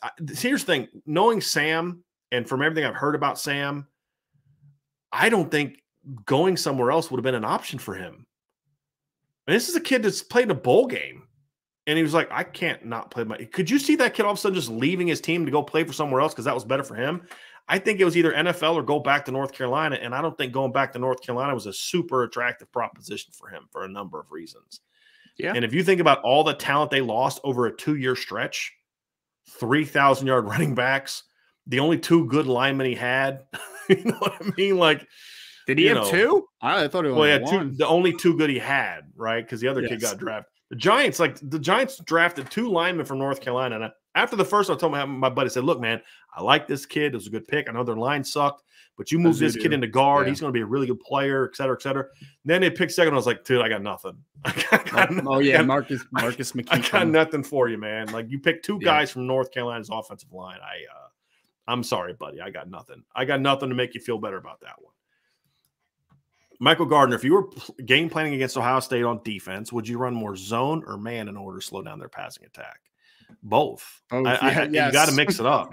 look, here's the key, right? And, and we'll, we'll get into more stuff this summer. We're still several months away from the game, right? Still a little less than four months away from the game. So it's a little early to dive too much into that. There's a lot of film I want to watch. But here, here, what I know of Ohio State and Notre Dame, here's the key, Ryan you have got to do whatever you can, pressure wise, coverage wise, mix up wise, all that stuff, to not let CJ Stroud get comfortable. You can't. You got to make him think he's seeing one thing and show him something different. And sometimes you make him see one thing and it, it is that thing because then if you confuse him enough, then he's going to, oh, they showed this and then they rolled to this. So I'm thinking it's this, but no, it is that. And then he throws it to a guy that he doesn't think is going to be there. Right. You've got to get him out of sync. And if you're, if you just come out and play man the whole game, they will shred you. If you just come out and play zone the whole game, they will shred you. You have to mix it up. And, and, and that's the key. And there's got to be things you do to take away the quick game that allow you to get to the quarterback. Right. That's the key because that's where I think Notre Dame has a big advantage. I'm I watched the Rose Bowl again last night, Ryan. I'm like, this is the heavy footed, is heavy footed group of tackles I've seen in, in Power Five. I mean, those guys, like I'm watching Dawand Jones and I'm like, there's no way that guy's going to be able to block Justin Ademilola, much less Isaiah Foskey. Yeah. With his pass sets. I'm like, this is terrible. Now, he's yep. like huge. You got to run around him. But I'm like, man, it's just like, and I I forgot how depleted that Utah defense was. Mm-hmm. I forgot about it. they they had their running back playing corner. Yeah. During that game. Do you remember that? Like I forgot about that. Did Devin Clark, Devin Lo- did Devin Lloyd play that game? He did. Him and Clark Phillips both played. But like their whole their secondary was desolate. They had COVID, guys with COVID, guys out because of contact tracing, guys with injuries. Like their defense was decimated. And then eventually Ohio State figured it out because there's only so much they could do. And uh, you got to be able to mix it up. That's a good question, Michael. And we'll, we'll get more into that as we get you know into the summer. But you've you've got to do you got you just can't do one thing. There's not a defense in college football that's good enough to just line up and do what you do and stop Ohio State. There there isn't one, and you got to mix it up. You want to hear? You want to hear a weird little tidbit, Brian? Before yeah, we move on, of course. You know, you just mentioned Clark Phillips. I'm actually wearing a Clark Phillips uh, sweatshirt right now. nice, nice. you know, he could have. He was. Uh, he liked Notre Dame a lot, but Clark Lea. Uh, Clark Lea didn't oh, think he was long enough. Yeah. so. Yep. Yep. He's uh. So he, now he's have you ever seen Clark Phillips? Yeah. Nah, man. He's yeah. Does he not look Phillips. like Shaun Shaun Crawford's little brother? Like in the face. A little bit, a little bit. You know yeah. what I mean? Like I was like, hey, yeah. what's Shaun Crawford? Like when he was on a visit, I was like, wait a minute, it was, it was for a spring practice, and I was like, why is Shaun Crawford standing on the sidelines talking to? I was like, oh, that's not Shaun Crawford. That's that's Clark Phillips. And they look very, very similar. Very, very similar. I yeah. still that's one regret. Um, I I would have loved to see what Shaun Crawford could have done before the injuries. He was so good in high school. He was so he explosive te- athletically. He still tested really well at his pro yes. day, didn't he? Yes. which yeah. is insane when you consider he tore he tore his Achilles, he tore his ACL, I think twice. Mm-hmm. you know, like you remember that game where his like elbow went like went the wrong direction. Like, well, his career's over, and he was like back in two weeks. That is one tough little kid. Like that kid was a freaking warrior. I mean, I I don't like using that phrase a lot for football players, but that kid fits it. I, I could not I believe mean, when he came back for that last year, man. I was like, wow, this dude, he loves football, man. he loves, football. It. And he did. Yeah. And that's the thing that that's what because if you ever met Shaun, he's a great kid. Oh, and if you see the interviews he's doing, like when he's going to different, I mean, he's a phenomenal young man. It's just he had terrible luck. But there are to, to that's how good he was that he could have corners are not DBs, especially five nine DBs, are not supposed to be able to suffer three season ending lower body injuries and still be decent, like serviceable players. And he was, you know, I mean, he was limited to bear, compared to what he was, but he could still play at Notre Dame. And it just says what I mean, think about what he could have been without just take two of them away. you know what I mean? Like, let him have the ACL as a freshman, but that's it. He'd have been so good he was really good against Texas that year. If you go back and watch, I mean, he had two picks, but he was good in coverage and he was a really good player. Irish fan 15 says, Hey, hey, IB, how would you guys compare Dante Moore and Tyler Buchner as juniors in high school? I mean, I, I, I mean, just looking at them again, they're just completely different players, right? Like mm-hmm. Tyler Buchner is just a dynamic, dynamic dude from the quarterback position as an athlete. And I think that Dante Moore is a good athlete, but he's not the same type of guy. Like you're not going to run mm-hmm. power read, you're not going to run quarterback counters, like quarterback sweeps. you're not going to do all that stuff like you can with Tyler Buchner. But I will say that Dante Moore is even though I thought I thought Tyler was like pretty far along from a technical perspective as far mm-hmm. as like you know going through reads and stuff. But Dante's just he's a he's yeah. a different cat in that regard. Like he's one of the yeah. best like processors I've ever seen of a junior. So I think Tyler has better upside as far as a, a dual threat option. Dante is a little bit stronger of an arm and just a little bit of a more natural thrower, in my opinion. Mm-hmm. I, I think that's where that experience part comes from. You know, Tyler missing. What would Tyler have been like if he didn't miss his whole junior sophomore season, right? I mean, those are things that you look at. But Don, they're they're very so like they're both really smart players, like anticipation and all that. But I think Don, I think Dante's the more natural passer for sure. Tyler's a far more dynamic runner. They're very comparable uh, as far as impact players. I had them both as five stars as juniors, and so there's not a huge difference. Tyler went down from away from a five star because he didn't play as a senior, and partly because of that crazy camp performance he had where like his throwing motion was all jacked up. Like I, that was weird to me. But you know, Dante's the better prospect just because like as far as a, a pure quarterback.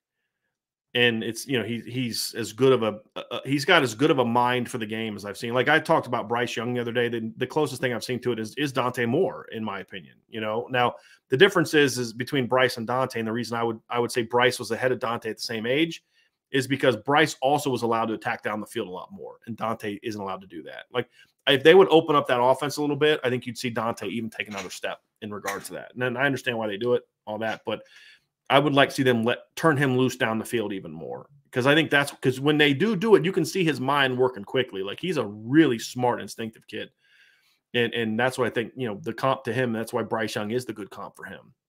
I just think Dante is a little bit more physically gifted, uh, in my opinion. But Tyler Buchner's no slouch, and they're different players. So that's why it's, it's kind of funny. People like, well, when Dante shows up, you know, Tyler better watch out. I'm like, well, okay, maybe, right? But you know, Tyler Buchner's pretty darn good football player. You know what I mean? Like he put up he put up monster numbers as a junior in high school. He he was a he was a special player. It's a good question. Here's an interesting one, Ryan. That I I curious to what you think about this. It's free for all Friday, which means they can ask whatever they want. Corey Diaz, better movie, Shawshank Redemption or Schindler's List? Shawshank. Schindler's List for me. I didn't like Shawshank really? Redemption. No, really? Why?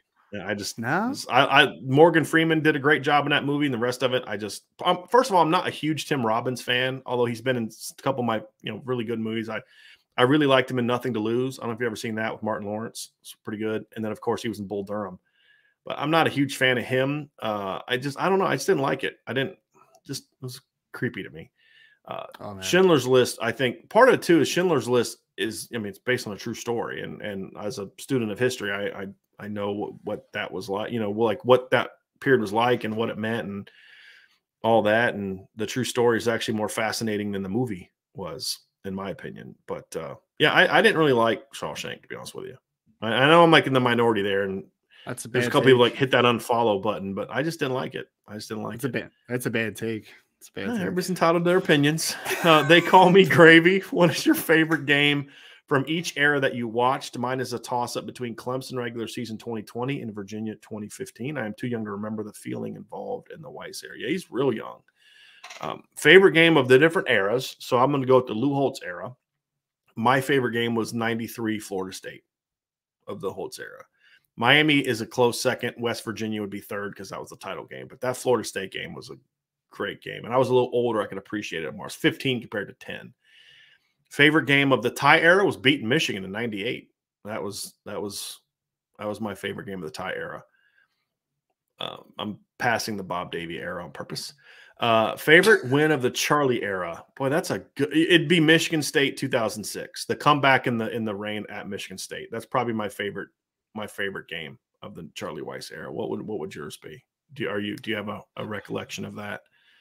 Yeah, I remember Charlie. It was it was a nice two year run there. I don't know if there's a game though that really stands out. Because they were down like know. 38 17 to Michigan State on the road. I don't remember And- that one that yeah, well. Who's who's was the quarterback for Michigan State? Was it Oh, Drew Stanton, I think. was it still Drew Stanton? I, I remember think so. Stanton beat Stanton definitely beat them once. Yeah. Let me let me look that up. But Yeah. I, I thought it was Drew Stanton. But yeah, they were up 38 17 over Notre Dame. And they had gotten a big lead over Notre Dame uh, the previous year. Notre Dame came back, took it to overtime, and then lost to Michigan State. So it's kind of nice to kind of get a little bit of payback. But I, I could be wrong. But yeah, they were they were down 24-7 in the second quarter. Notre Dame scored. Then they went up. They were down 31-14 at halftime. I'm sorry, they Mhm. were down 37 to 21.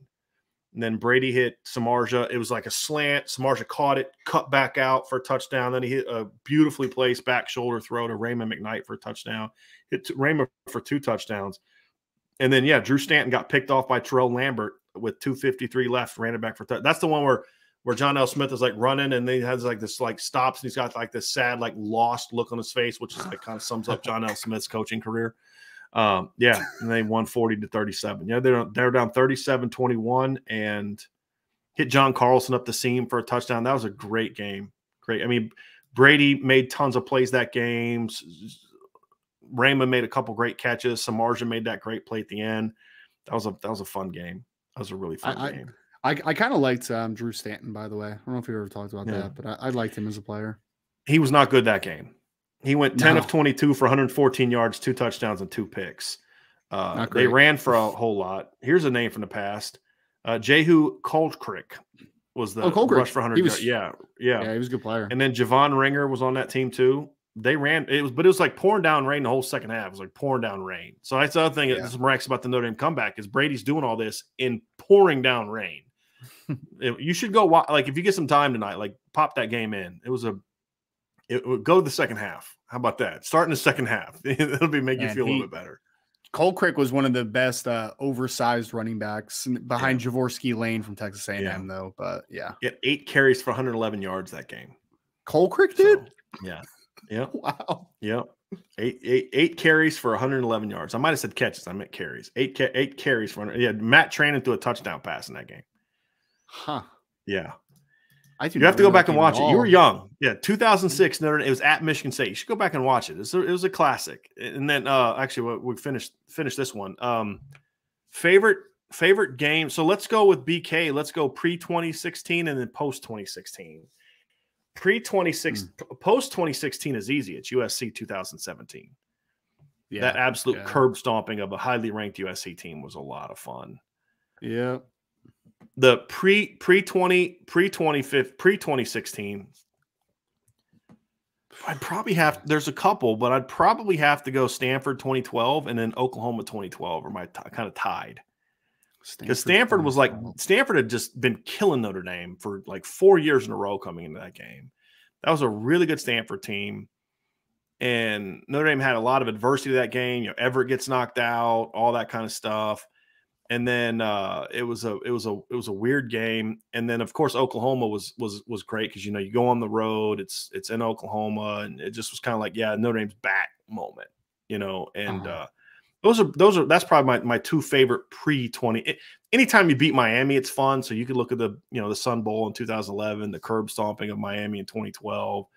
Uh, beating them in 2016, but you know, none of those teams are really that good, so it doesn't mean a whole lot. Stanford and Oklahoma that year were really, really good.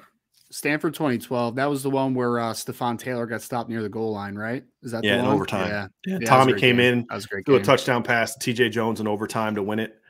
Yeah, it's so great game. Yeah. I remember that. And, and they were they ended up fifth that year. I mean, that was a really good Stanford team. Really good Stanford team. Uh post 2016, Ryan? Uh, did you agree with me on the USC 2017 game? Yeah, it'd be USC or it'd be Cle- when they beat Clemson with DJ. I guess that would be a close, uh, like a number two probably for me. That game well. always. I, I've never loved that game. It was a great win, but a you beat them with the backup quarterback. And I don't know, like I know there were students there, but it just a college football game just uh, isn't the same without fans in the state. I'm sorry, it's just not. It's it just it's just not. And, and, NBC actually did their best to try to pump in some sound. You know what I mean? Like it sounded mm-hmm. like they were pumping in some sound, but it just it wasn't. It wasn't the same. So it just took some of that. That's the thing I loved about the 93 and the 88 games over Miami and Florida, Florida State and then Miami is and the crowd was such a big part of that game. Back right. then, you could get flagged for the crowd being too loud. Like they would warn you to be quiet when you're when the other team was on offense, and if you didn't, you'd get flagged. It was crazy. It was crazy. John Leahy, I heard on another podcast that Notre Dame is over the 85 scholarship limit with the transfers arriving. Is this true? And what will Notre Dame do? It is true. Uh, don't know what they're going to do. Uh, you'll have somebody on medical or someone else transfer. See, guys can still transfer; they just can't sit out. And and the other option is worst case scenario is they take a walk on scholarship away. It because uh, walk ons are kind of only guaranteed through that school year. They're not guaranteed scholarships for next year. So that's the other thing they could do. So it's not a not an ideal situation at all. So, yes, that is accurate. Irishman 7114. I think this D line group gets a boost because this is going back to the, the, the 2023 class if they get Jason Moore and Devin Houston.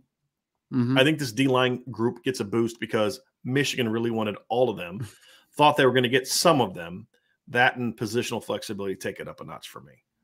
Agree. Agree. I mean, yeah. Eh, hey, hey, anytime you beat Michigan for anything, I'm happy about it, right? So yes. Well, and, and, practically speaking, Ryan, I mean, there's the fan part of us that both loves kicking Michigan in the teeth, but the other part of it too is is like eh, you're beating, you're kicking Michigan's butt for a year after they just had two All American edge players.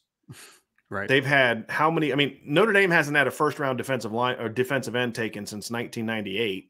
Michigan's had three or two in the last however many years, and would have had a third if David Ojabo doesn't tear his knee up. Where did he end up going? Was he second second round? Sec- second round to the uh, Baltimore Ravens. He's a first round pick if he doesn't get hurt. Or do you agree top with that? Tw- top, okay. top twenty pick if he doesn't get hurt. Yeah, right. And and Notre Dame hasn't produced a guy like that in twenty years. You know, you know what I mean. So like it, over twenty years, and and so with all that being true, coming off a playoff team, kicked Ohio State's butt last year, won the Big Ten, all that, and Notre Dame is still kicking the absolute crap out of them on the recruiting trail.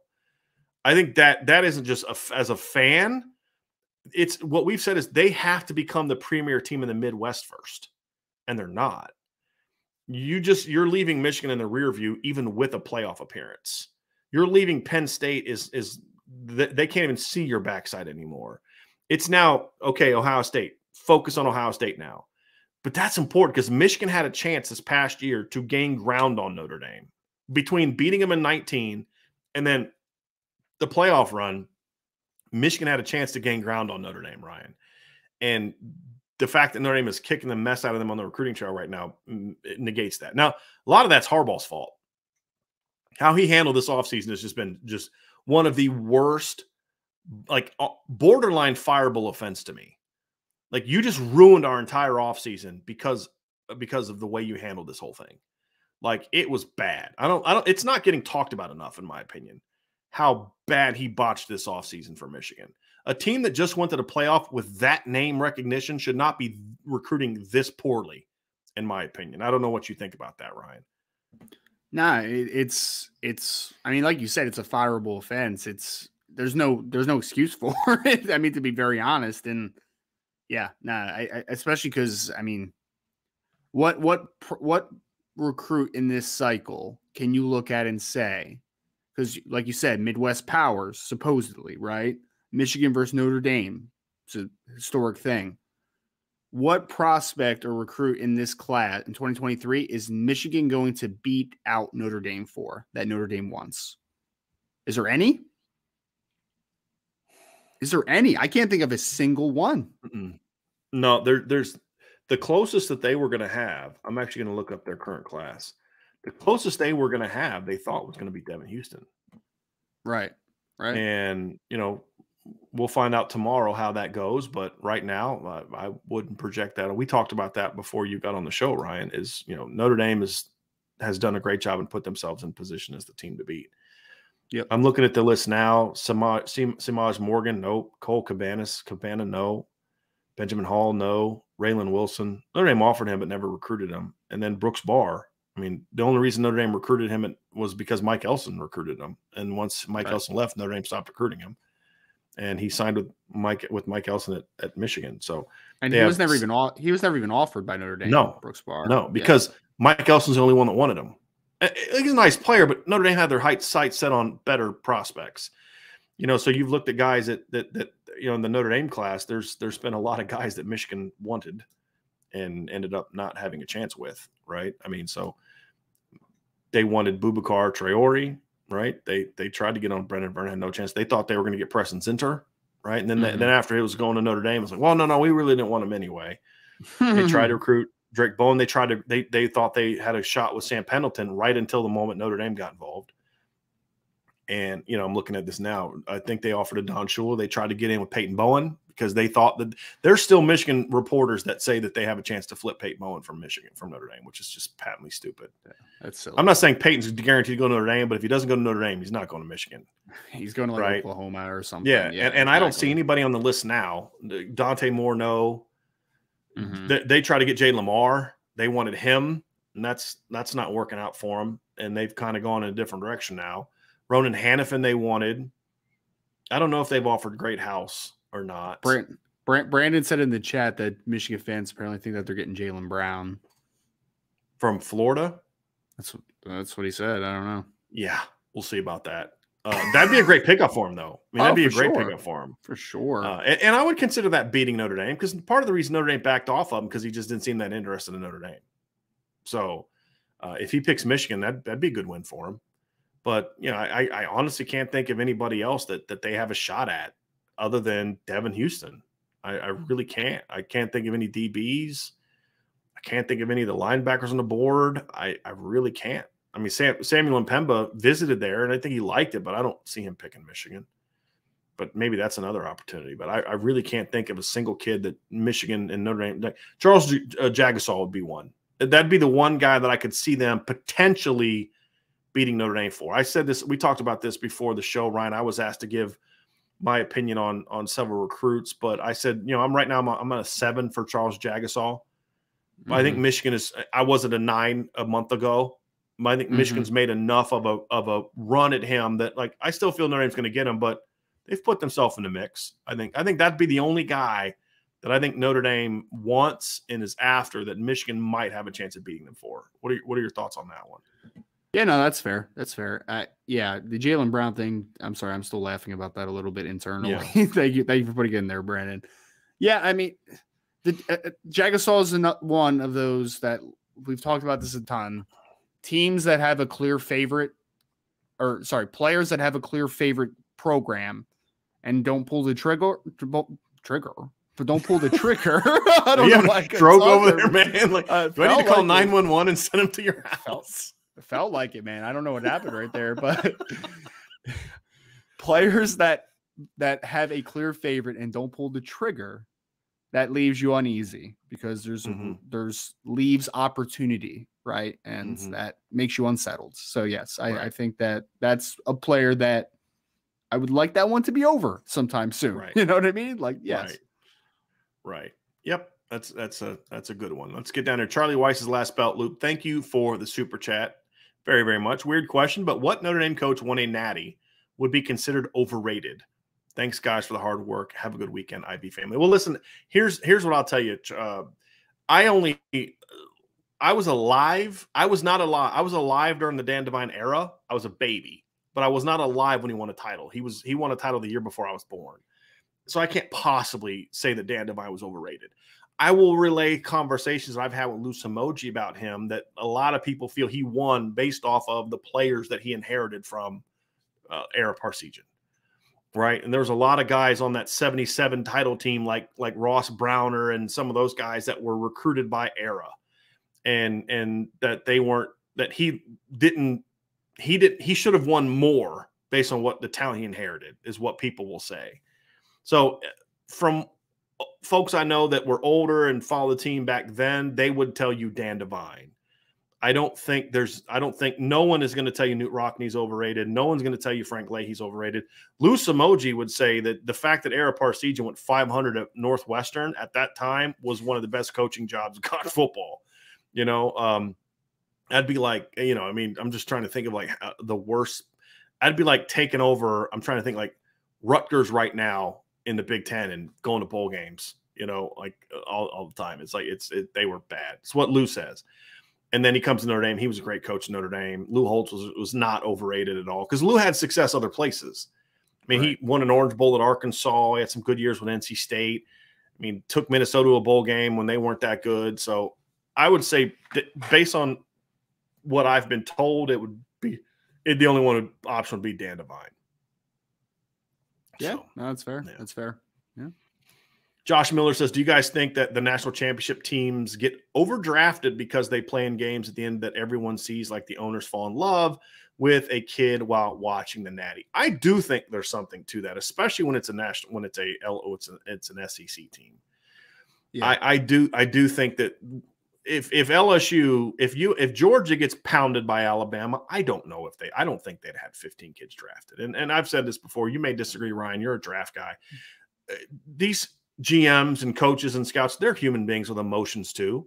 They can be swayed by by uh, uh, you know, I, I've pointed out if you go back and look at the last 5 years, you look at the top 3 rounds of the draft and the percentage of SEC picks, especially round 1, and then you compare it to the percentage of SEC guys that are on all pro teams, it, it's it's way way more non-SEC guys in Pro Bowl team or uh, all pro teams than there are drafted in the first round. So I do think the SEC I think Alabama's had guys overdrafted for years because I think sometimes the, the the the whole, you know, is better than the necessarily individual parts, right? And that I just think that to be true. And so I do think there are several guys for Georgia that got overdrafted. If Georgia goes eight and four this year, Ryan, do you think Travon Walker's the number one pick in the NFL draft? I don't. No, no, because if they go eight and four, that means a lot of those guys didn't take step forward, right? Like they weren't great, as good as they were. It could have been other guys. It know? could have been Stetson Bennett sucked. You know, well, I just he, I think when when when guys look at teams that are successful, they say that I think guys get lifted up, right? Like I just well put it to you like yeah. this: if Travon Walker did what he did during the seasons, production wise, and at the combine for Vanderbilt, do you think he's the number one overall pick? Mm, not number one. He would have been overdrafted okay. though, either way with those athletic right. testing numbers. But no, right. I, I, agree. I agree with it because there's a stigma around being a winner, right? Like the right. quote unquote winner, and that that so would that would have let's draft John Fitzpatrick. Right. well, that's that's bad. Let's make Quay that's Walker bad. for. I'll make this now. See, Quay Walker maybe because his his his numbers he's talented. Really, really yeah, he's talented. Yeah, because yeah. we saw that with the kid from Kentucky last year, right? Yes. I mean, but that many, I just don't. I don't think it would. And yeah, we saw it with no, like LSU. I buy that. Yeah, yeah, we saw with LSU in, in the 2020 draft. There's there's some guys from the LSU team that were drafted exactly where they should have been. I mean, that that was a there was some I mean, Ja'Marr Chase, Joe Burrow, Justin mm-hmm. Jefferson, but there were some guys that got picked probably a little bit higher than they probably should have. I think the Broncos are probably regretting that they drafted Lloyd Cushenberry in the third round at this point in time. Like, man, maybe we should have waited a round or two more. You know, that's, that's just the reality of it. And you know, like we've seen it, we've seen it in the past. It so I I think so. Now, does that mean that Georgia would have only had seven guys drafted if they didn't win a title. No, I'm not saying that. I'm right. not saying that at all. They still would have had a lot of guys drafted, but it would have been like more normal, like last year, like 10. You know what I mean? Like, mm-hmm. I don't know. You know, I just, I think it's the combination of them winning a title plus them being an SEC team. That that's yeah. that's what I. Think. I buy that. I buy that. When you said the Alabama overdrafted thing, is it bad that the first person I thought of was um was uh Alex Leatherwood going 16th to the uh Oh, I mean, everybody knew that one. Everybody knew that one. Well, like the Ryan Anderson. I mean, we could we could have such a long list of guys that were drafted in the first round that did almost nothing in the NFL. I mean, James Carpenter. I mean, DJ Fluker's been a nice player, but nothing like where he was drafted. Ryan no. Anderson it got cut by the Redskins like before. It was a second round pick. yeah, yeah, yeah. I mean, you know, so it, it's it's it's been yeah, it, it's a lot. It, it, there's a lot. Drake, Drake Kirkpatrick, and yeah, yeah, there's, there's a lot of guys, yeah. man. Of guys. Real quick here, um, Hulk strongest with a super chat. Thank you for that. Uh, what can you what can you guys uh, what do you guys think about the new receiver Joshua Manning? So we were asked yeah, about this um, earlier, but he did a super chat, so I wanted to give you a chance to kind of maybe dive into a little bit more. Yeah, yeah. Um, so Hulk strongest. If you're if you're not on the message board, I, I started doing these little instant breakdowns types of pieces on the players that are offered recently. So if you want to go on there, I have a little more of an in-depth kind of look into Joshua Manning, who is of course the wide receiver out of Missouri. I mean, kind of basically the the biggest highlights of of Joshua for me is that the fact that he's listed at six foot three, 190 pounds. He's got a really nice frame and he's very, very explosive. He's got long strides. You look into his track background, he's a 23 plus foot long jumper. He's also a kick returner for the team that averages like 42 yards per kick. So this is a very explosive player. I think that there is a huge upside to him as a boundary receiver because I think that he can kind of get on top of defenders and he can really win vertically a ton, which is kind of the biggest selling point.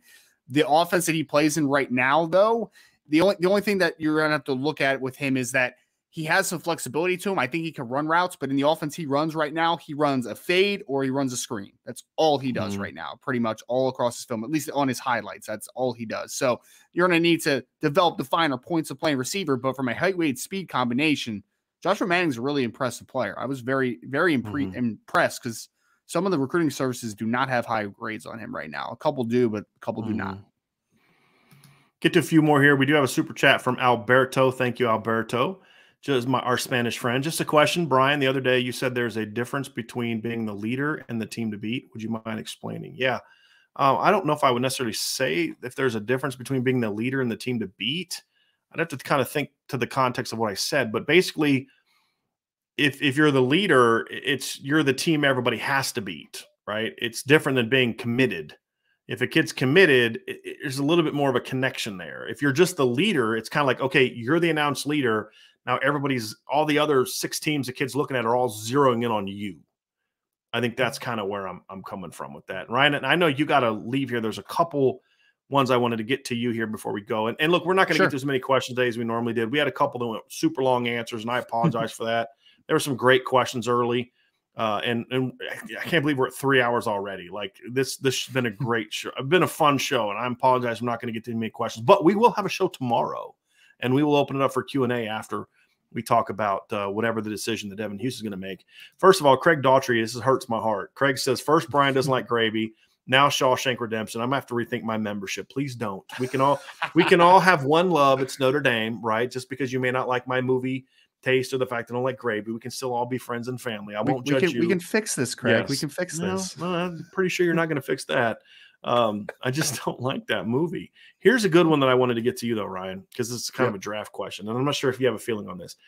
Irish Gordian Knot says if Nicholas Petit-Frere goes to Notre Dame and is coached by Harry Hiestand, do you think he gets developed into a first round pick? I thought that kid was going to be a star. I'm going to add one more caveat that has to be a part of this. Matt Balis.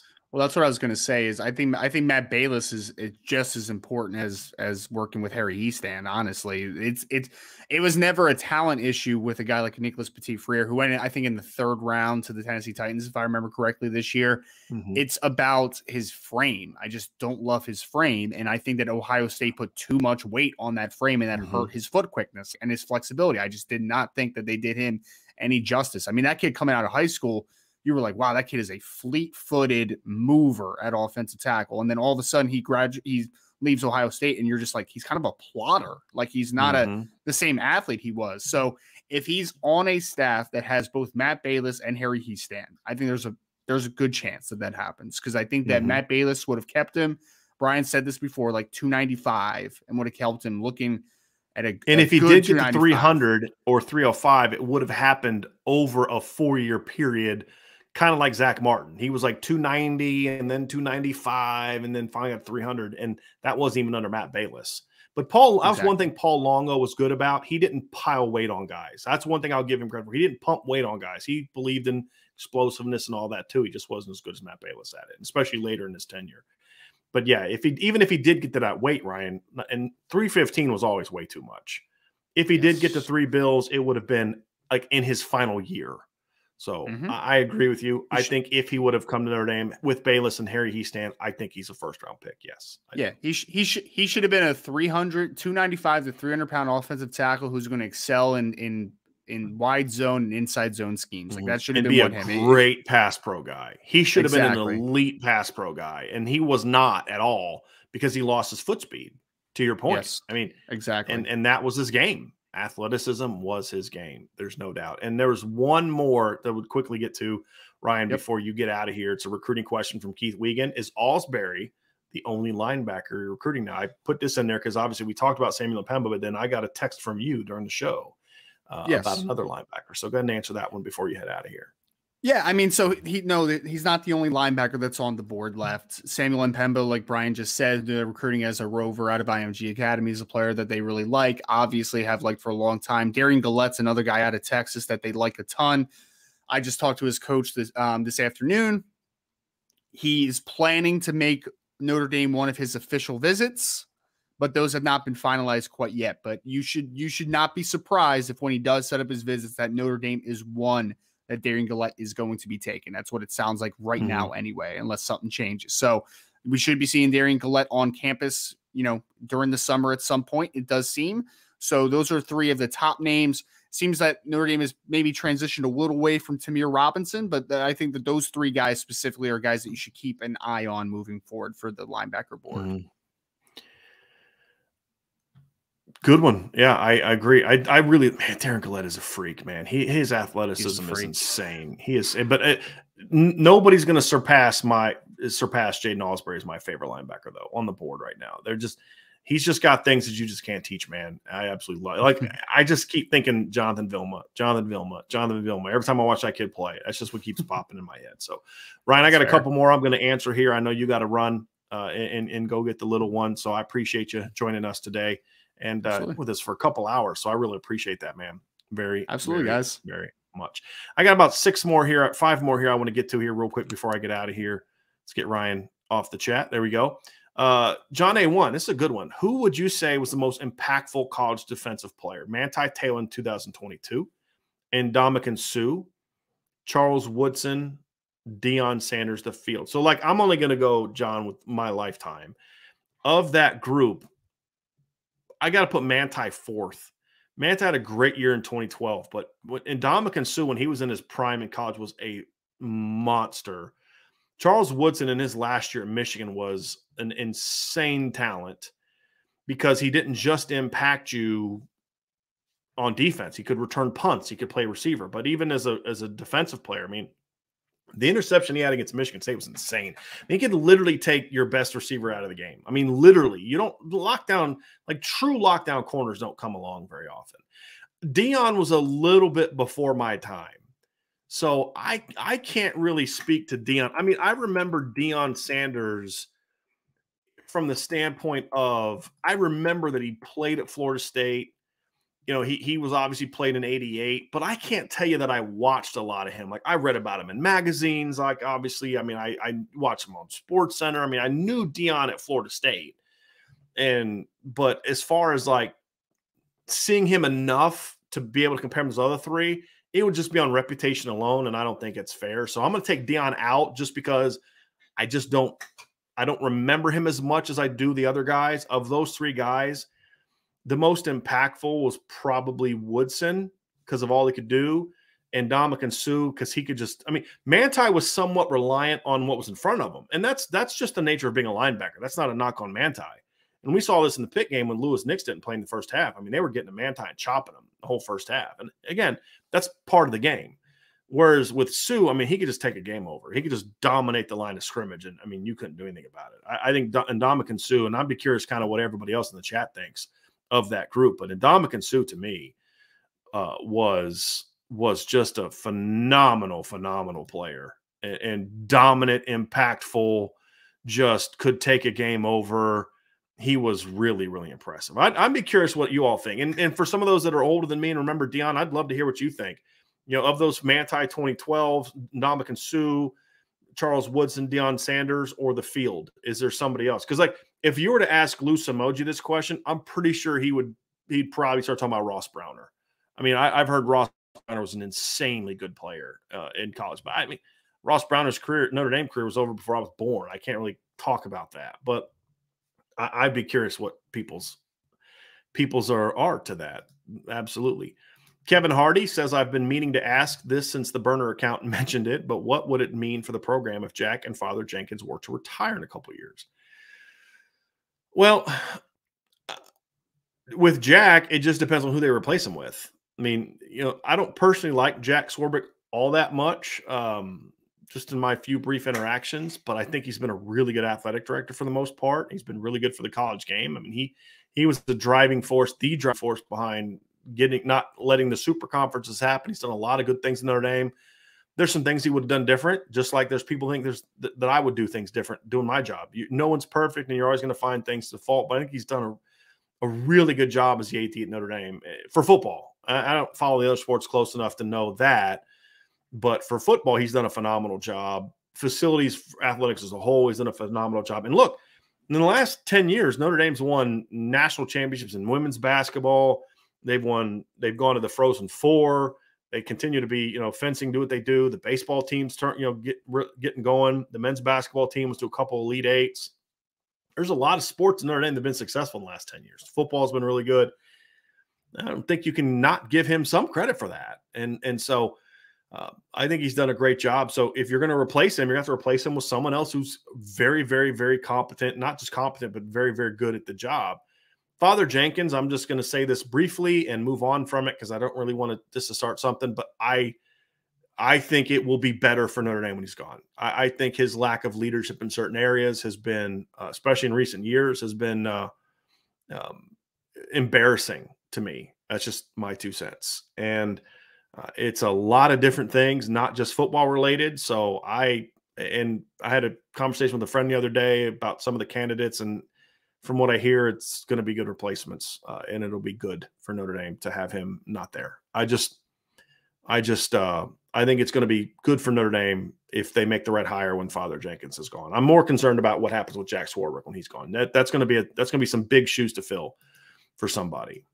Jack says, "Hey guys, my wife thinks the offensive holding penalty is dumb because isn't that what an offensive lineman is supposed to do? I try to explain it, but can you guys do better? Why is holding bad? So, holding is bad is because it gives the offensive player an unfair advantage relative to the, the talent level of the two players. So, when you talk about, you know, who's going to win a battle in football, it's a one on one type of thing. You know, it's me and my athleticism and my technique compared to you and your athleticism and your technique a defensive player doesn't benefit in the line from holding the way that an offensive player does. And so if I use if I'm faster than you or bigger than you or quicker than you or my technique is better than you and I beat you, you need to take the L, right? Or try to recover. But holding is an unfair advantage that negates my ability to beat you. It's the same thing on on the on the opposite side when you're talking on outside. So like a receiver versus a DB. Now, the DB is the one that gets the unfair advantage. So if I beat you and I'm about to go by you and you grab and hold me, you're now having an unfair advantage that I can't really counter. And I don't have a, a, a, a similar thing in my repertoire to go to to beat you. And so it's really about it's outside the framework of the way the game is supposed to be played and uh, it gives one side an unfair advantage on a particular play. So you can get beat and recover, and it's not recovering with good technique or talent. You're recovering by cheating. That's the best thing that I can come up with. Rob Osgood said, Hey guys, question for the defense. What offensive line will be the toughest Notre Dame will face this year? And for offense, what will be the toughest D line Notre Dame will face? Defensive line's easy. We've talked about this one before. It's Clemson. I mean, Clemson to me is the best defensive line Notre Dame is going to face all all year this year. I I think Clemson will have the best. Clemson has a, a, a, um, a, Clemson has a chance to have the best defensive line in college football. Period. and not just Notre Dame's schedule. Offensive line's a little bit of a, a, better question. I'd have to do a little more thinking about that one and, and really look at who comes back or not. Like I thought the kid from Marshall was coming back. I didn't even realize he transferred from Virginia Tech till Brian told me or Ryan told me. So I'm gonna have to look at that one. But the good thing is, Rob, that is definitely already on the summer schedule.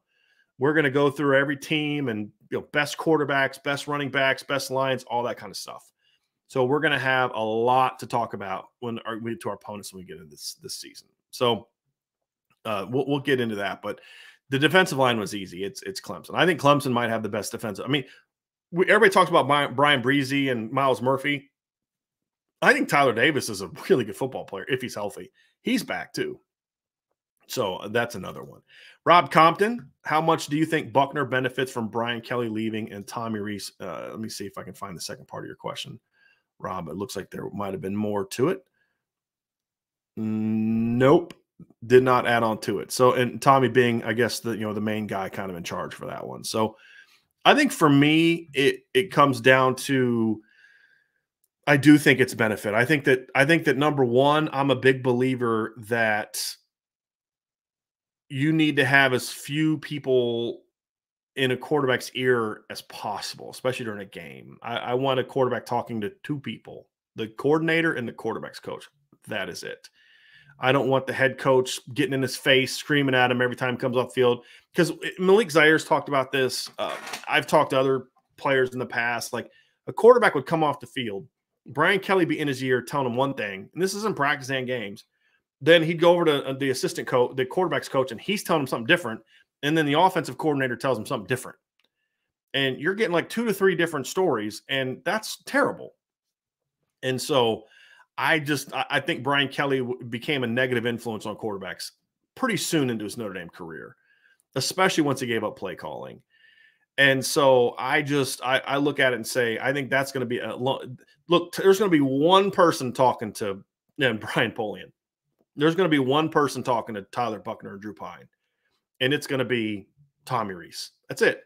Now, in regards to instruction, now the you know it's like here's what you need to do. Now, if Tommy's up in the booth, which I think he will be, you're going to have you know either Chansi Stuckey or Deland McCullough, whoever's down the field, relaying plays or relaying instruction. You know, like during a timeout, he may say, "Hey, you know, hey, do this," but he's telling him what Tommy Rees wants him to, to be told you may have Marcus Freeman come off to him and say, Hey, keep your head up, shake it off. Hey, I need you to do this, I need you that. But it's not reading the defense, it's more of the head coach things you need him to do.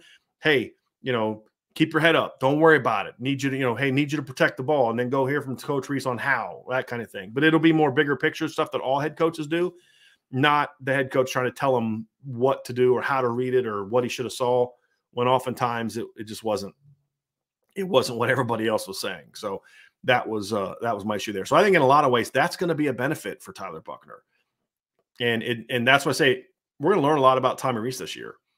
If Tyler Buchner does what I think he's going to do, his talent's part of it, but Tommy Rees developing him and and being that consistent voice is going to be a big part of that. I, I, there, there, there's no question about it. So, Rob, I think it's a it's a it's a really important thing. I'm gonna we're gonna end this. We have one more question. This is a good one. Just popped in. Fill in the blank. Notre Dame wins a playoff game or New Year's Six Bowl this year if, there's, there's not one thing, if what we just talked about with Tyler Buchner is legit. Tommy Rees has got him playing at a high level. Harry Hiestand is who we think he is. At least one receiver steps up opposite Lorenzo Styles to be a good player. And Al Golden keeps things rolling with the defense if those things happen, I think Notre Dame has a shot to win a championship this year. And, I don't think any of those things are uh, way out of the question. I look, I, I may be off here. I just I have I feel like the changes that were made, the talent Notre Dame has coming back, the playmaker they have at quarterback, if they can just somewhat stay healthy and the quarterback pans out, I feel like this team has a chance to do something special. And I, I think there's a lot of assumptions about well, they can't win this game or that game. And and the stuff. And and I don't know if Notre Dame's going to be better now that Brian Kelly's gone. I, I, don't know, but I believe they will. And I'm going to be proven right or wrong about Brian Kelly here in the next couple years. We'll find out. But I really felt like he was holding the team back.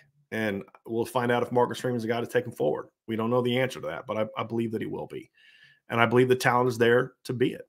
So come on, everyone. like Make AK says, join the message board, hit the like button, subscribe to the channel, subscribe to our message board as well, hit that notification bell, share the podcast, leave a five star review, and as always, in the words of Mace AK, go Irish. Thank you all so much. I enjoyed the show. We'll be back tomorrow at four o'clock. We are going to talk about the upcoming decision by Devan Houston, the 2023 defensive lineman from Maryland, who will be making his decision between Notre Dame, Michigan, and several other schools tomorrow. You're definitely going to want to tune in tomorrow at four o'clock. So make sure you're there with us for that. We'll break it down, and then afterwards we will have a Q&A tomorrow more. So if you had a question that I didn't get to today, save it, bring it back with you tomorrow. We'll have a lot more going tomorrow. So everybody, have a great, awesome rest of your day. Thank you all so much. We will talk to you soon. Appreciate y'all being a part of the Irish Breakdown podcast.